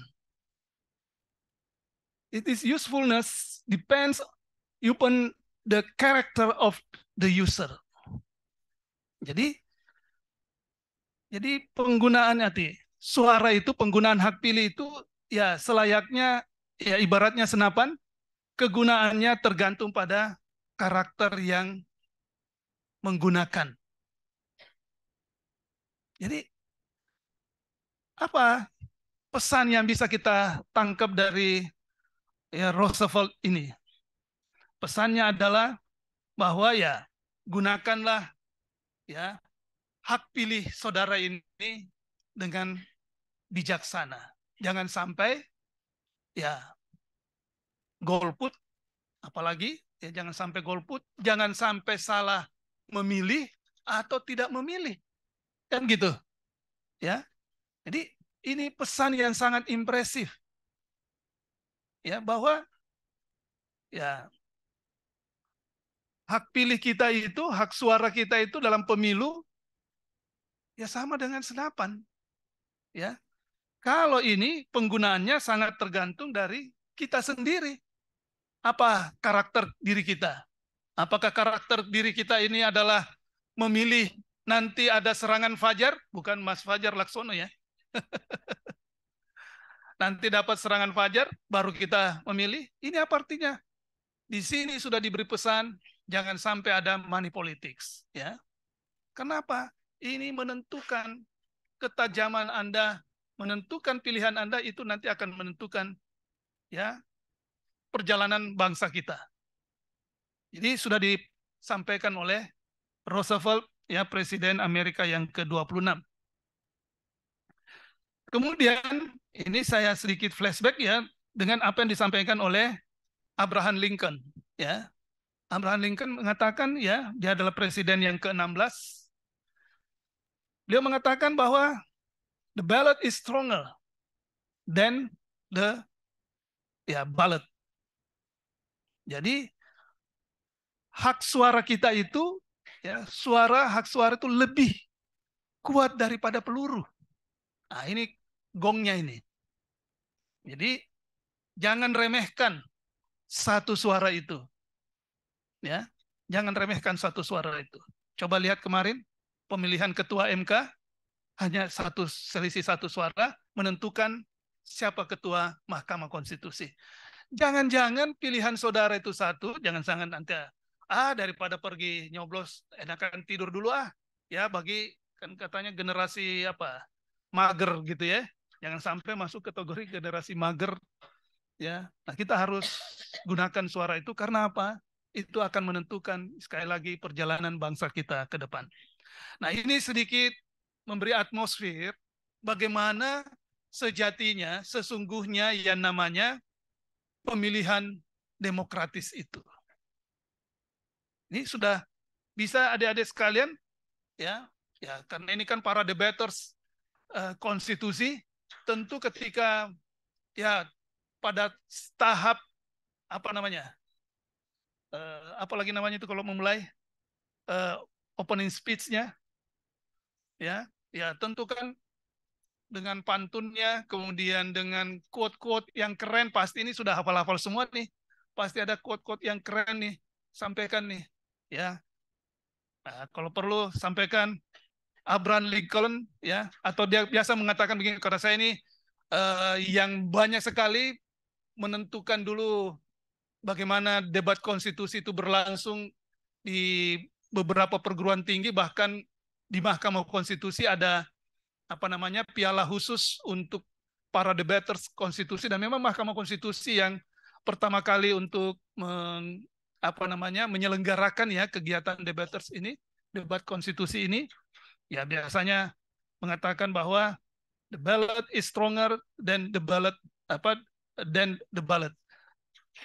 Apa kata Abraham Lincoln kan gitu. Wah, udahlah dimulailah dengan pengantar-pengantarnya. Saya tuh sangat apa menikmati sekali kalau ada mahasiswa-mahasiswa para debaters ini kemudian mengquote satu apa pandangan-pandangan ya, kemudian nanti dilanjutkan dengan apa yang menjadi ya related dengan apa yang disampaikan dengan quote-quote itu itu menarik itu untuk uh, memperlihatkan selain memperlihatkan kekuatan referensi Anda ya itu kan menentukan kekuatan referensi tidak hanya langsung apa mohon maaf nerocos gitu kan ya tetapi menyampaikan satu referensi satu pandangan dari seorang pakar ahli filsuf itu sangat menarik ya untuk apa namanya para uh, debaters. Dan itu nanti akan bermanfaat adik-adik sekalian jangan menganggap apa yang Anda hafal tentang uh, quote-quote itu tidak berguna karena nanti suatu saat Anda jadi apa jadi apa presentasi tentu hal-hal seperti itu selalu akan membawa Anda untuk bisa menuntun ya dari pandangan-pandangan tersebut. Saya salah satunya selalu sangat senang dengan apa yang dikemukakan oleh Profesor Jeremy Bentham misalnya ya. Jeremy Bentham mengatakan bahwa keterbukaan itu adalah rohnya keadilan, keterbukaan itu membuat hakim diadili ketika ia sedang mengadili. Itu sangat impresif sekali, ya. Nah, oleh karena itu, apa yang kita dapatkan apalagi kalau saya lihat ya baca bukunya Dr. Fajrul Rahman dengan apa tulisan-tulisannya di media, waduh, lengkap dengan berbagai apa namanya pesan-pesan ya, uh, mengutip dari beberapa pandangan dari pakar filsuf dan itu sangat menarik karena itulah kekuatannya seorang sarjana hukum ketika menyampaikan argumentasi-argumentasinya bahwa tidak hanya olah pikirnya tapi juga itu menandakan kekayaan membaca referensi yang kita uh, pahami ya. Baik, adik-adik sekalian, itu sedikit quote yang ingin saya sampaikan. Ya, sebagaimana kalau tentu para debaters konstitusi ini tentu juga akan menyampaikan hal yang sama. Para ya lanjut. Nah, seperti saya sampaikan tadi bahwa kita berbicara tentang konsep pemilu yang demokratis. Nah, bagaimana sesungguhnya pemilu yang demokratis? Tolong slide-nya karena saya apa namanya slide-nya ini tidak panjang-panjang banget saya membacanya. Ya. Uh, jadi saya lihat itu pada slide kedua saya kira adik-adik bisa uh, perhatikan ya bahwa berbicara tentang pemilihan umum, sebetulnya pemilihan umum ini sudah ya selain tentu di konstitusi kita sudah uh, diatur, ya, tetapi juga secara internasional juga sudah diatur dalam ya Universal Declaration of Human Rights, ya, atau dikenal dengan DUHAM, ya, Deklarasi Universal tentang hak asasi manusia. Jadi Universal Declaration of Human Rights ini sudah mengatur secara tegas ya dalam pasal 21 ayat 1 dan pasal ayat 3 Duham itu sudah tegas menyatakan bahwa setiap orang berhak untuk turut serta dalam pemerintahan negaranya secara langsung atau melalui wakil-wakil yang dipilih dengan bebas.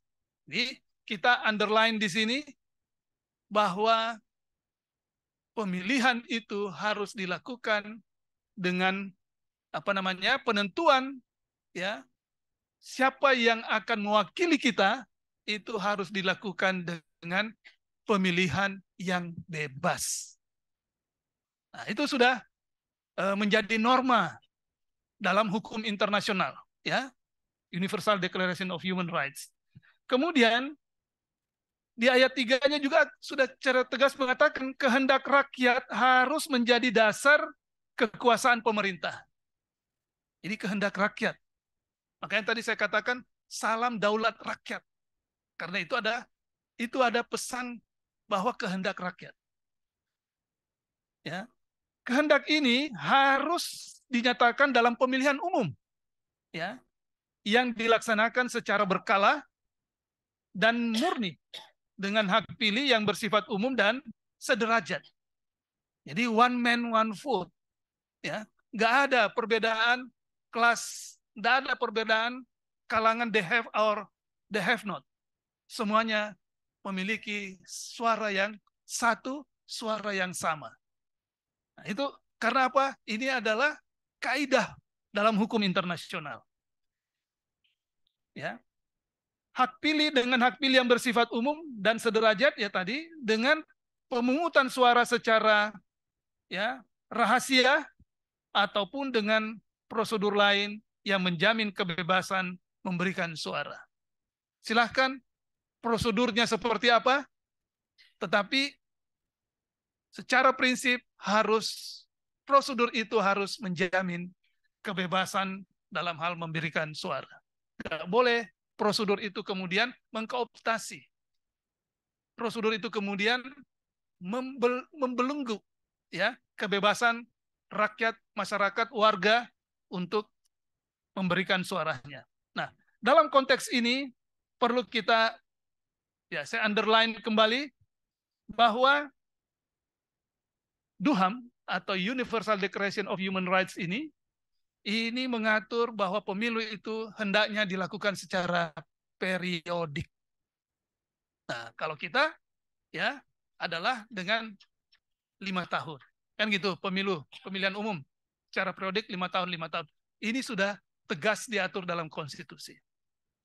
Kemudian pemilu itu haruslah genuine. Apa artinya genuine? Ini benar-benar ya genuine karena apa? Keseluruhan proses itu memang sudah ibaratnya sudah ada rule of the game, kemudian nanti itu pelaksanaannya. Jadi harus ada rambu-rambunya. Ya. Pemilu harus ada rambu-rambunya. Nggak boleh pemilu itu tidak pakai rambu-rambu. Ya, karena kalau tidak pakai rambu-rambu nanti akan berantem yang punya suara siapa, yang menyoblos siapa, dan sebagainya dan sebagainya. Kemudian yang ketiga bahwa adanya universal and equal ya suffrage ya jadi ada universal and equal ini adalah hak pilih di situ keterangannya hak pilih bersifat ya preferensi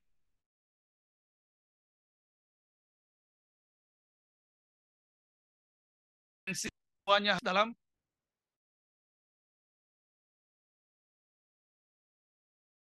posisi yang oh dulu Prof Guntur pernah menyampaikan ini. Ini pernah berbicara soal ini. Ah, kalau gitu saya kutip. Kita harus selalu menelurkan ide-ide, kreasi-kreasi ya dalam hal ya konstituennya. Ya. Nggak bisa. Karena itu adalah mandat. Sepanjang Anda adalah wakil dalam pemilihan umum, maka sepanjang itu pula selalu ada ya apa namanya eh, suasana kebatinan yaitu memandang bahwa amanah yang diberikan sebagai wakil rakyat itu adalah sebuah mandat yang harus dipertanggungjawabkan. Kemudian ketiga, keempat, nah di sini karena kita berbicara tentang pemilu berintegritas, nah tentu setiap pemilu tidak boleh tidak seluruh penyelenggaranya, seluruh pelaksananya, seluruh kontestannya, seluruh peserta pemilunya dorong dan termasuk seluruh juga pemilihnya. Pemilik suara juga harus berintegritas. Ya, makanya ya yang namanya apa serangan-serangan ya hendaknya adik-adik semua ya sebagai agen-agen ya untuk menyampaikan kepada seluruh warga bahwa yang namanya dalam era sekarang ini dalam masa sekarang ini harus berani untuk tidak menerima segala pemberian. Tapi saya juga apa bisa-bisa apa namanya kadang-kadang kita ngomong begini, eh belakangan kita tahu, eh ternyata ada orang juga yang melakukan hal yang sama, lupa udah. Ya, nah oleh karena itu prinsip integrity ini, integritas ini menjadi embedded, ya, menjadi bagian yang tidak terpisahkan dari pemilu itu sendiri. Ya. Kemudian yang keempat bahwa pemilu itu yang kelima ya. Ya, yang kelima prinsipnya bahwa pemilu itu harus ada rambu-rambunya, ya harus dilakukan sesuai dengan ketentuan yang berlaku. Prinsip legality ini menjadi wajib. Tadi ya seperti sampaikan Pak Dekan, nomokrasi ya setia pada demokrasi artinya setia pada ketentuan rule of law ya atau yang disebut juga rule of the game ya aturan mainnya. Bagaimana aturan mainnya? Nah ini tidak boleh melanggar dari aturan main. Berarti apa?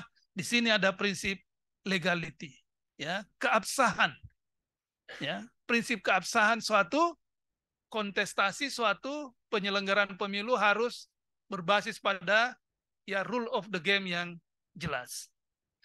Kemudian yang terakhir adalah prinsip universal suffrage ya. Universal suffrage ini ya seperti saya sudah jelaskan tadi bahwa setiap warga negara, setiap orang tentu memiliki hak pilih yang bersifat sama dengan yang lain. Memiliki derajat yang sama.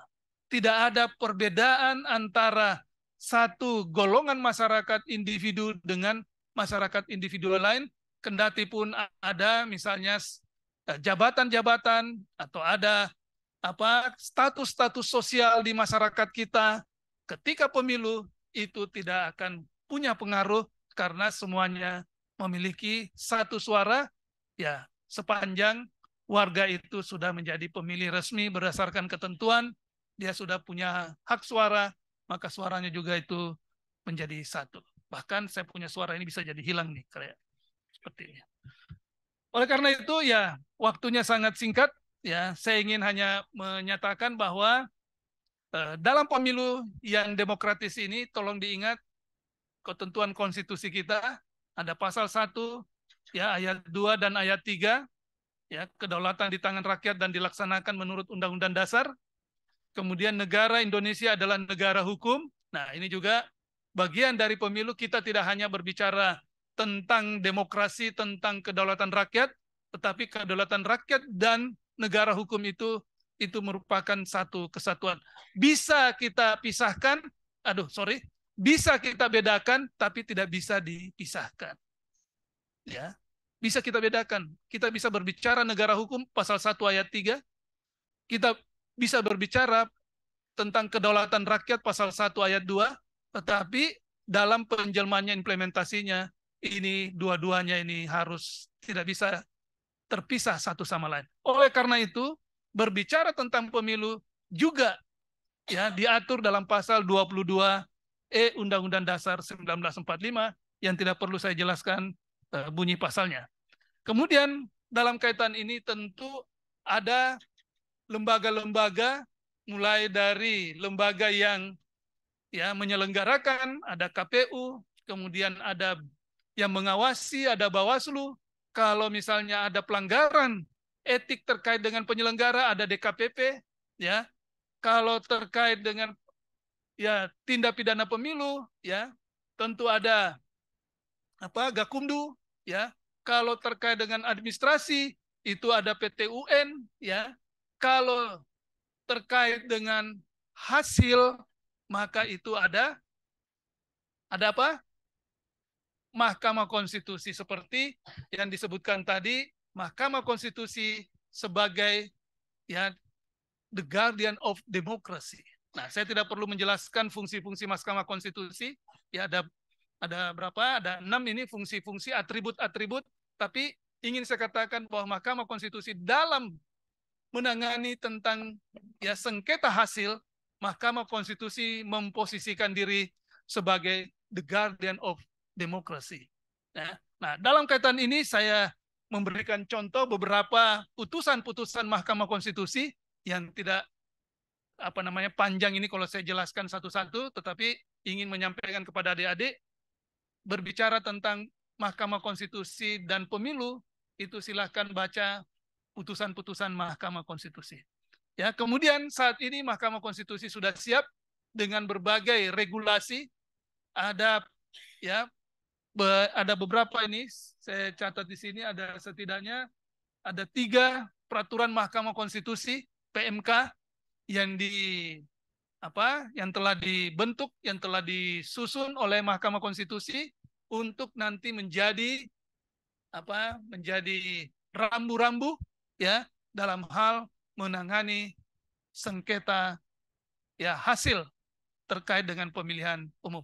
Pemilihan umum akan berlangsung nanti ya pilpres, pileg serentak dan di akhir tahun 2024, di awal tahun 2024 ya Februari, kemudian di akhir tahun menjelang akhir tahun ya itu nanti ada uh, pilkada. Ya, nah, sehingga 2024 ini benar-benar tahun pemilihan umum. Ya. serentak nasional. Nah, oleh karena itu adik-adik yang pengen apa namanya mendalami tentang kepemiluan dalam kaitannya dengan penanganan perkara di Mahkamah Konstitusi, sekarang adik-adik sudah bisa download ya regulasinya, ya peraturan Mahkamah Konstitusinya melalui laman Mahkamah Konstitusi. Laman Mahkamah Konstitusi itu adalah ibaratnya palu gada. Apa lo mau ada semua di laman Mahkamah Konstitusi. Ya, apa saja yang Anda pengen ketahui tentang Mahkamah Konstitusi dalam kaitannya dengan apa saja kewenangan Mahkamah Konstitusi bisa adik-adik apa namanya eh, ketahui dari laman. Terakhir ingin saya sampaikan tentang ya ya ini menyangkut konstitusi modern. Ya. Nah, ini pun juga ya, terakhir slide terakhir ini tidak perlu ya karena tadi saya sudah jelaskan. Nah, konstitusi modern. Nah, ini nanti adik-adik tinggal ya karena bukunya sudah saya buat ya. Jadi saya buat tiga buku terkait dengan modernisasi, satu buku tentang peradilan modern ya. Kemudian buku kedua tentang birokrasi modern dan buku ketiga tentang konstitusi modern. Ya, sudah bisa ada dapatkan di toko-toko buku yang menyediakan buku ini. Cuma sayang saya tidak sempat bawa ini untuk kepentingan adik-adik sekalian. Mestinya saya bawa buku ini untuk bisa dibagi-bagi. Cuma karena ya lupa ya terlalu banyak ini sehingga ya saya sampai lupa uh, membawa buku-buku tersebut.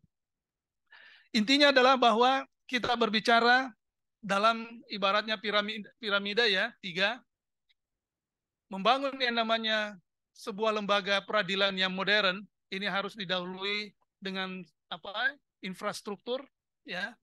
Infrastrukturnya sarana prasarananya harus modern harus ya berbasis ICT teknologi ya.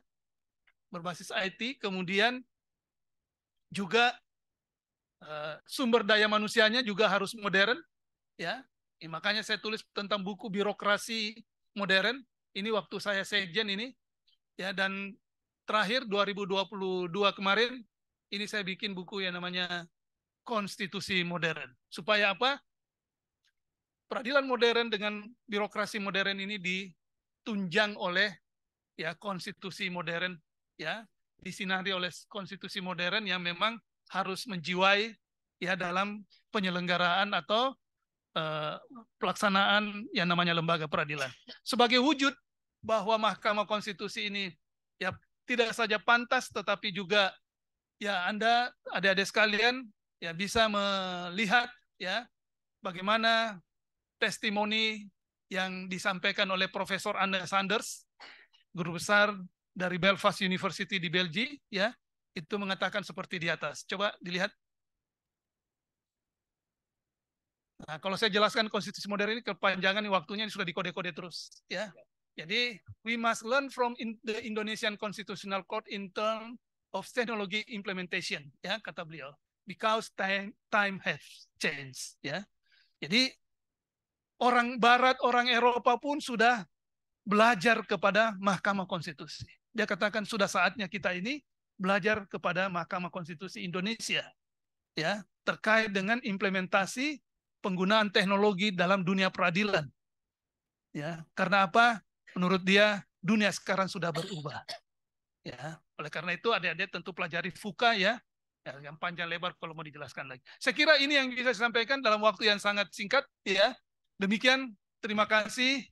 Ya, kalau ada yang mau bertanya menanggapi silahkan. Saya kembalikan kepada Dr. Fajrul Rahman Jurdi selaku ya yang memoderatori pertemuan kita saat ini. Terima kasih. Mohon maaf lebih dan kurangnya. Assalamualaikum warahmatullahi wabarakatuh. Selamat sore. Terima kasih. Waalaikumsalam warahmatullahi wabarakatuh. Kita beri aplaus kepada yang mulia Profesor Dr. Guntur Hamzah. Baik Bapak Ibu sekalian, eh, banyak sekali yang eh, beliau harus jelaskan memang, tapi karena ini waktu singkat sekali, eh, saya teringat sekali kalimat tua, mungkin jarang dipakai, Prof. Fox Populi Fox Day. Suara rakyat itu suara Tuhan. Suara rakyat itu suara rakyat itu kira-kira suara eh, itu imanen, tapi kalau suara Tuhan itu transenden. Ini titik jumpa antara yang imanen dan transenden mungkin kalau dalam filsafat, Prof. Nah, eh, jadi kalau kita datang ke TPS, dua tanggung jawabnya, tanggung jawab kepada manusia, tang juga tanggung jawabnya kepada Tuhan. Karena itu titik temu antara yang imanen dan transenden. Baik, Eh, Bapak Ibu sekalian, teman-teman sekalian, saya hanya buka lihat waktu dua penanya, satu laki satu perempuan, eh satu eh, satu laki satu perempuan, hanya dua saja, tidak menjadi pembicara selanjutnya. Langsung bertanya karena waktu kita sisa 10 menit. Oke, ini yang depan cewek, berarti saya butuh laki-laki. Cowok yang sebelah sana. Oke, yang ah, oke, yang sana. Oke, kita mulai dari yang perempuan ya. Cewek.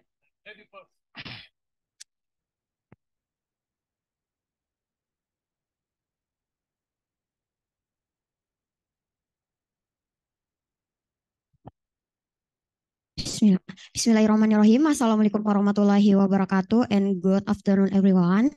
Perkenalkan nama saya Sartika, mahasiswi Ilmu Hubungan Internasional FISIP sekaligus mewakili lembaga kebanggaan saya, Lembaga Dialektika Haluan Kebangsaan Ledak Universitas Hasanuddin.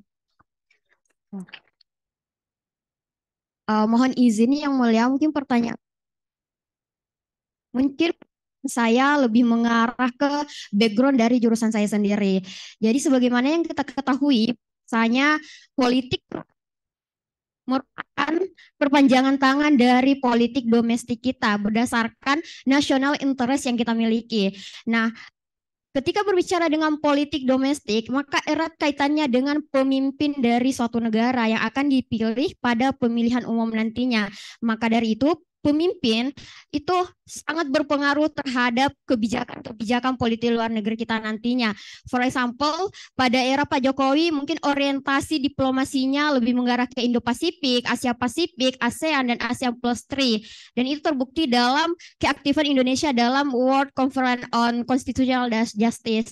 Namun pertanyaan saya, apakah ada dari eh, Mahkamah Konstitusi sendiri terkait dengan orientasi dari pemimpin yang akan kita pilih pada pemilihan umum nantinya, terutama khususnya pada bidang hukum dan mungkin itu merupakan salah satu pertimbangan bagi kita dan juga merupakan kajian-kajian terkhusus pada kami mahasiswa Ilmu Hubungan Internasional ke depannya. Mungkin seperti itu Kak. Seperti itu Pak, mengingat eh, landasan dari politik luar negeri kita merupakan eh, konstitusi kita. Terima kasih. Baik, terima kasih kita beri aplaus kepada Sartika. Penanya kedua, ya silakan. Perkenalkan. Eh, Bismillah, Assalamualaikum warahmatullahi wabarakatuh. Eh, perkenalkan nama saya Muhammad Yusuf, salah satu mahasiswa Magister Ilmu Hukum di Universitas Hasanuddin Makassar. Eh, izin yang mulia, eh, berbicara terkait dengan pemilihan umum, tentunya eh, kita sering mendengarkannya dalam jangka lima tahun sekali. Karena hal itu merupakan evaluasi, dari pasal 7 Undang-Undang Dasar 1945. Nah, terkait dengan pemilihan umum, eh, di akhir-akhir ini kita mendengarkan terkait dengan isu penundaan pemilu. Isu penundaan pemilu. Nah, terkait dengan isu penundaan pemilu, tentunya kalau secara aturan hal itu memang pada dasarnya tidak dapat dilakukan karena dalam pasal 7 tersebut itu me- apa, menginginkan pemilihan dilakukan secara lima tahun sekali. Nah, akan tetapi apabila hal itu eh, dapat terlaksana, eh, menurut salah satu profesor dalam bidang tata negara mengatakan bahwa penundaan pemilu dapat saja sah secara hukum apabila dilakukan dalam tiga hal. Yang pertama, eh, amandemen undang-undang, kemudian yang kedua, presiden mengeluarkan suatu dikrit, kemudian yang ketiga, konvensi ketatanegaraan. Nah, eh, walaupun hanya sekedar wacana, yang eh, pada saat ini eh, kita dengarkan sama eh, bersama-sama. Namun apabila hal tersebut eh, terlaksana atau penundaan pemilu terlaksana, eh, saya ingin bertanya yang mulia, apakah kemungkinan implikasi yang terjadi keta- eh, terhadap ketatanegaraan Indonesia apabila eh, penundaan pemilu pemilihan umum ini terlaksana eh, dan tidak mengikuti apa yang menjadi eh, dasar hukum kita atau konstitusi kita yaitu dalam pasal 7. Demikian pertanyaan saya. Assalamualaikum warahmatullahi wabarakatuh. Waalaikumsalam. Bari kita beri aplaus kepada penanya kedua Pak Yusuf. Mungkin yang eh, saya sedikit koreksi, mungkin pasal 22E maksudnya pemilu. Kalau pasal 7 itu masa jabatan presiden. Jadi masa jabatan presiden lima tahun, pemilu pasal 22E, mungkin pasal 18 itu pasal rujukan kalau dalam konstitusi kalau eh, yang yang terkait dengan pemilu ini yang ditunda. Baik, terima kasih. Tapi pertanyaannya bagus sekali, Prof. Eh, eh, merembes ke isu-isu politik. Eh, ada eh, apa? Ada perkataan teman saya kalau mau bikin tunda pemilu sebenarnya sederhana, tembak jatuh satu pesawat kemudian seolah-olah itu perang lalu dibuatkan dekrit. Jadi kira-kira begitu bahasa kasarnya teman saya itu. Jadi itu salah satu cara yang paling eh, yang paling mungkin bisa dilakukan atau dua pesawat ditembak ditembak jatuh bahwa seolah-olah itu ada serangan dari luar lalu dikeluarkan dekrit karena itu hanya itu alasan alasannya karena itu ada di pasal 12 keadaan bahaya. Mungkin itu. Tapi ya, Prof, untuk jawaban yang yang pasti saya eh, kami beri waktu kepada Prof eh, 5 sampai 8 menit. Izin, Ya. Prof. Baik, karena waktunya sangat terbatas ya, jadi saya coba untuk singkat-singkat saja. Jadi yang pertama dari adik siapa? Santi ya, dari FISIP. Ya, latar belakang beliau FISIP tentu perspektifnya melihat dari sudut pandang ilmu eh, sosial politik. Memang benar, jadi prinsip dasar eh, hubungan internasional itu harus basisnya adalah national interest, ya kepentingan nasional, kepentingan bangsa dan negara, itu adalah rumus standar, rumus baku ya, yang semua negara pasti menggunakan rumus itu. Dalam berinteraksi, dalam kerjasama internasional maupun dalam berbagai hal, tentu selalu mengedepankan kepentingan nasional, kepentingan bangsa dan negaranya. Nggak ada itu ya selalu semua langkah-langkah apa namanya dalam eh, hubungan internasional selalu didasari pada kepentingan nasional, kepentingan bangsa dan negara. Kita kalau membaca buku tentang apa undang-undang tentang perjanjian internasional, di situ sangat jelas di underline bahwa kepentingan nasional dalam hal melakukan perjanjian internasional itu harus basisnya adalah national interest. Nah, itu satu.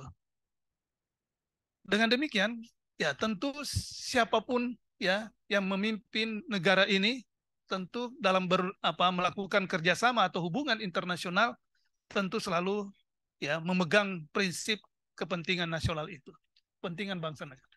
Istilahnya merah putih ya harus selalu menjadi uh, patokan pedoman. Nah, pertanyaannya bagaimana dalam kerangka WCCJ tadi disebut ya ya World Conference on Constitutional Justice berarti ada Santi ikut anu ya ke Bali kemarin acara ya? Dengar atau gimana? Kan kemarin Mahkamah Konstitusi tahun lalu tahun berapa? Tahun 2021 ya? 2022 ya 2022 ya bulan November kemarin ya. Itu kita menyelenggarakan ya apa uh, World Conference on Constitutional Justice WCCJ itu di mana ya memang salah satunya itu adalah bagaimana menyamakan persepsi antara negara-negara ini terkait dengan isu-isu kontemporer yang ada. Salah satunya terkait dengan isu ya ya perang ya ya Rusia Ukraina. Tapi alhamdulillah semuanya bisa terselesaikan di bawah kepemimpinan uh, Indonesia. Demikian juga G20 juga kita lihat ya alhamdulillah semuanya berjalan lancar ya pertemuan-pertemuan skala internasional dan bahkan kepentingan nasional itu juga ikut di dalamnya. Nah, terkait dengan apakah Mahkamah Konstitusi punya preferensi untuk melihat profil ya bagaimana pimpinan yang terbaik tentu Mahkamah Konstitusi sesuai dengan fungsinya adalah menjaga konstitusi.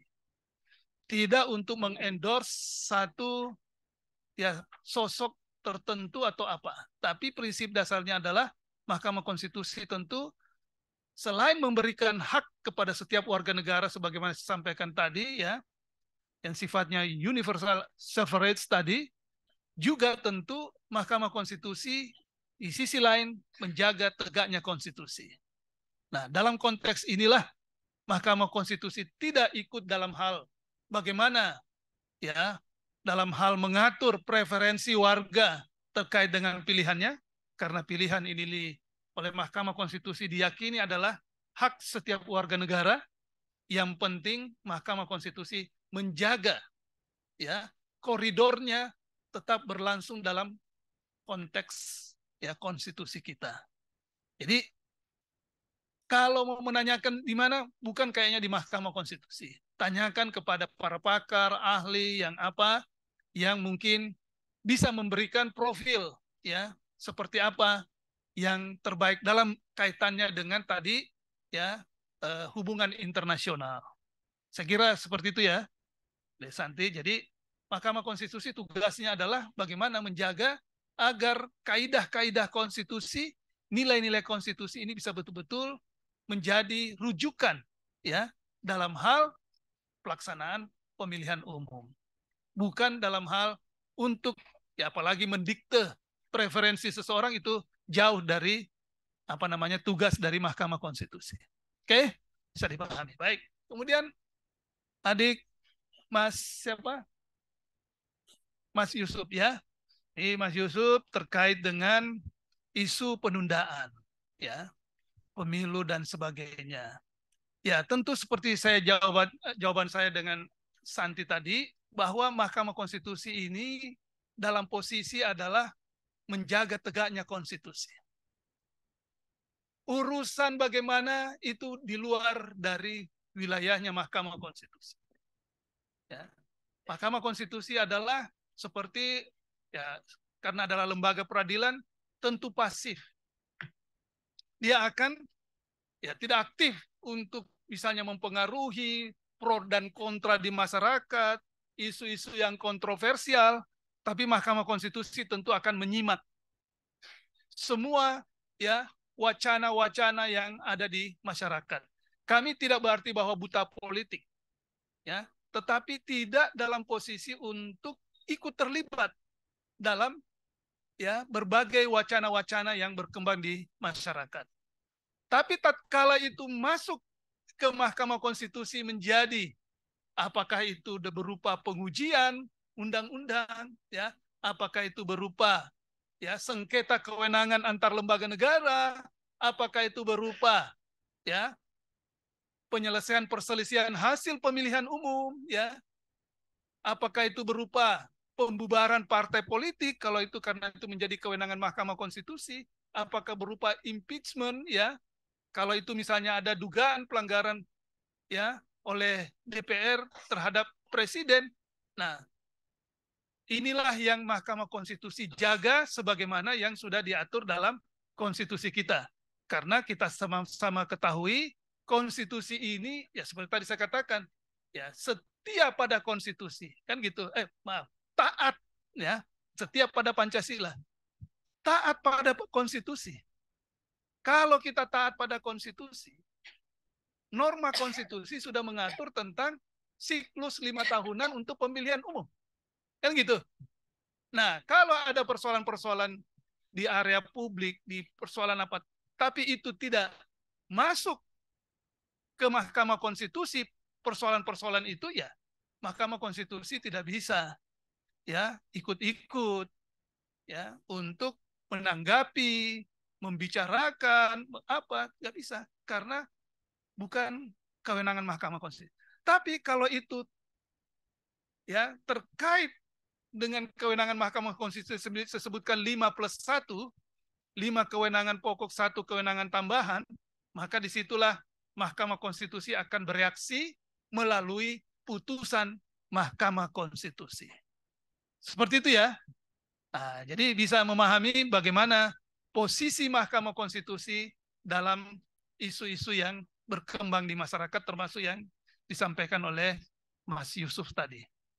Jadi sekira seperti itu ya adik-adik sekalian ya bagaimana ya ketatnya ya ya hakim konstitusi itu untuk dijaga dia supaya tidak ya terpengaruh godaan memancing saya biasa ketemu dengan A, ketemu dengan B, ketemu sama siapa dipancing. Prof, ini terbuka apa tertutup? Ah, sudah saya sudah langsung mohon maaf no comment.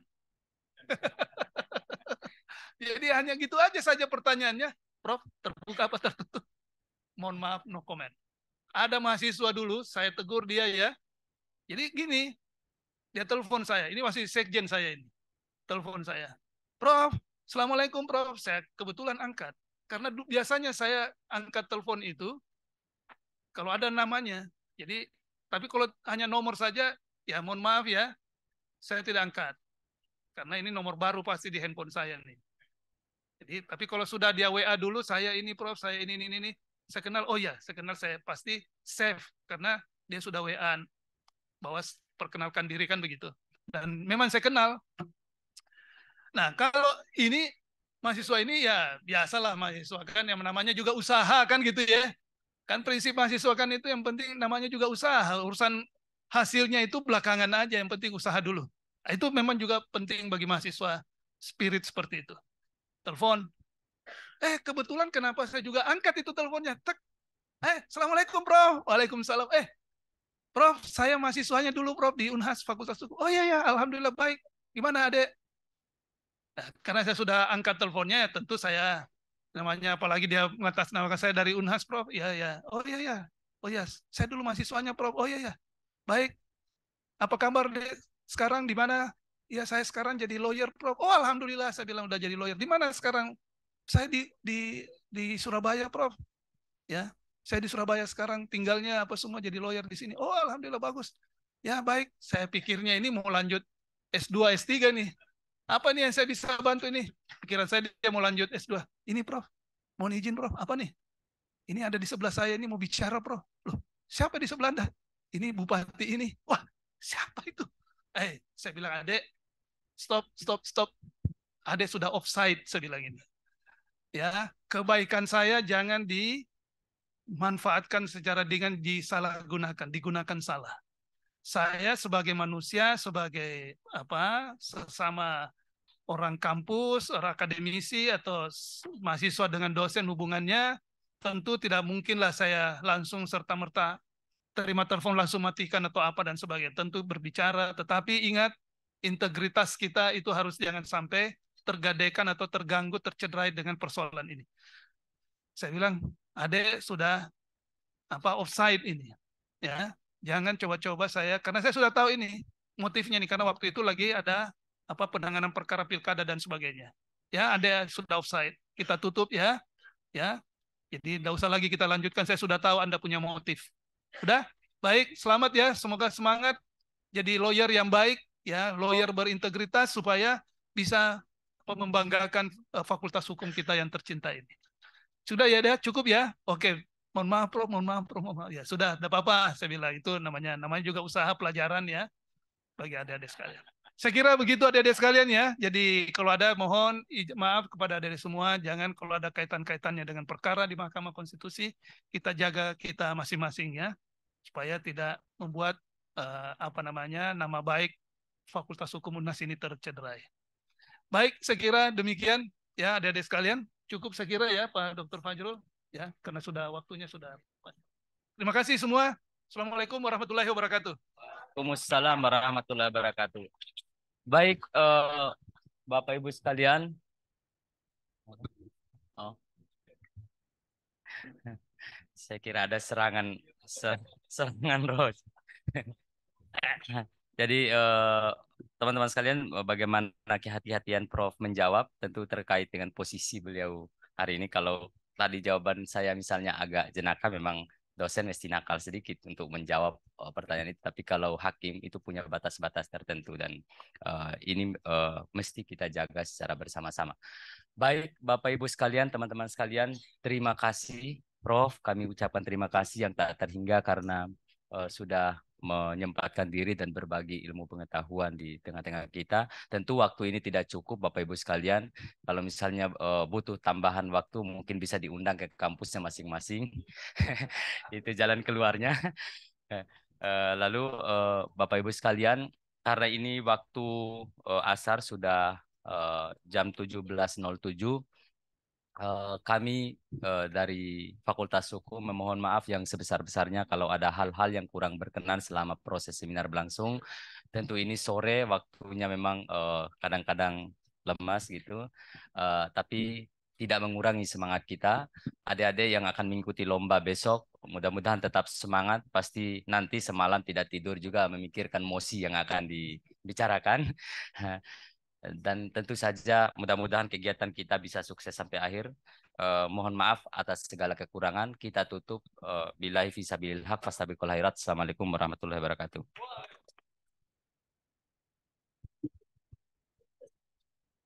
Baik, demikianlah kuliah umum yang sangat luar biasa dari narasumber kita yang mulia Hakim Konstitusi, Bapak Profesor Dr. M. Guntur Hamzah, SH, MH.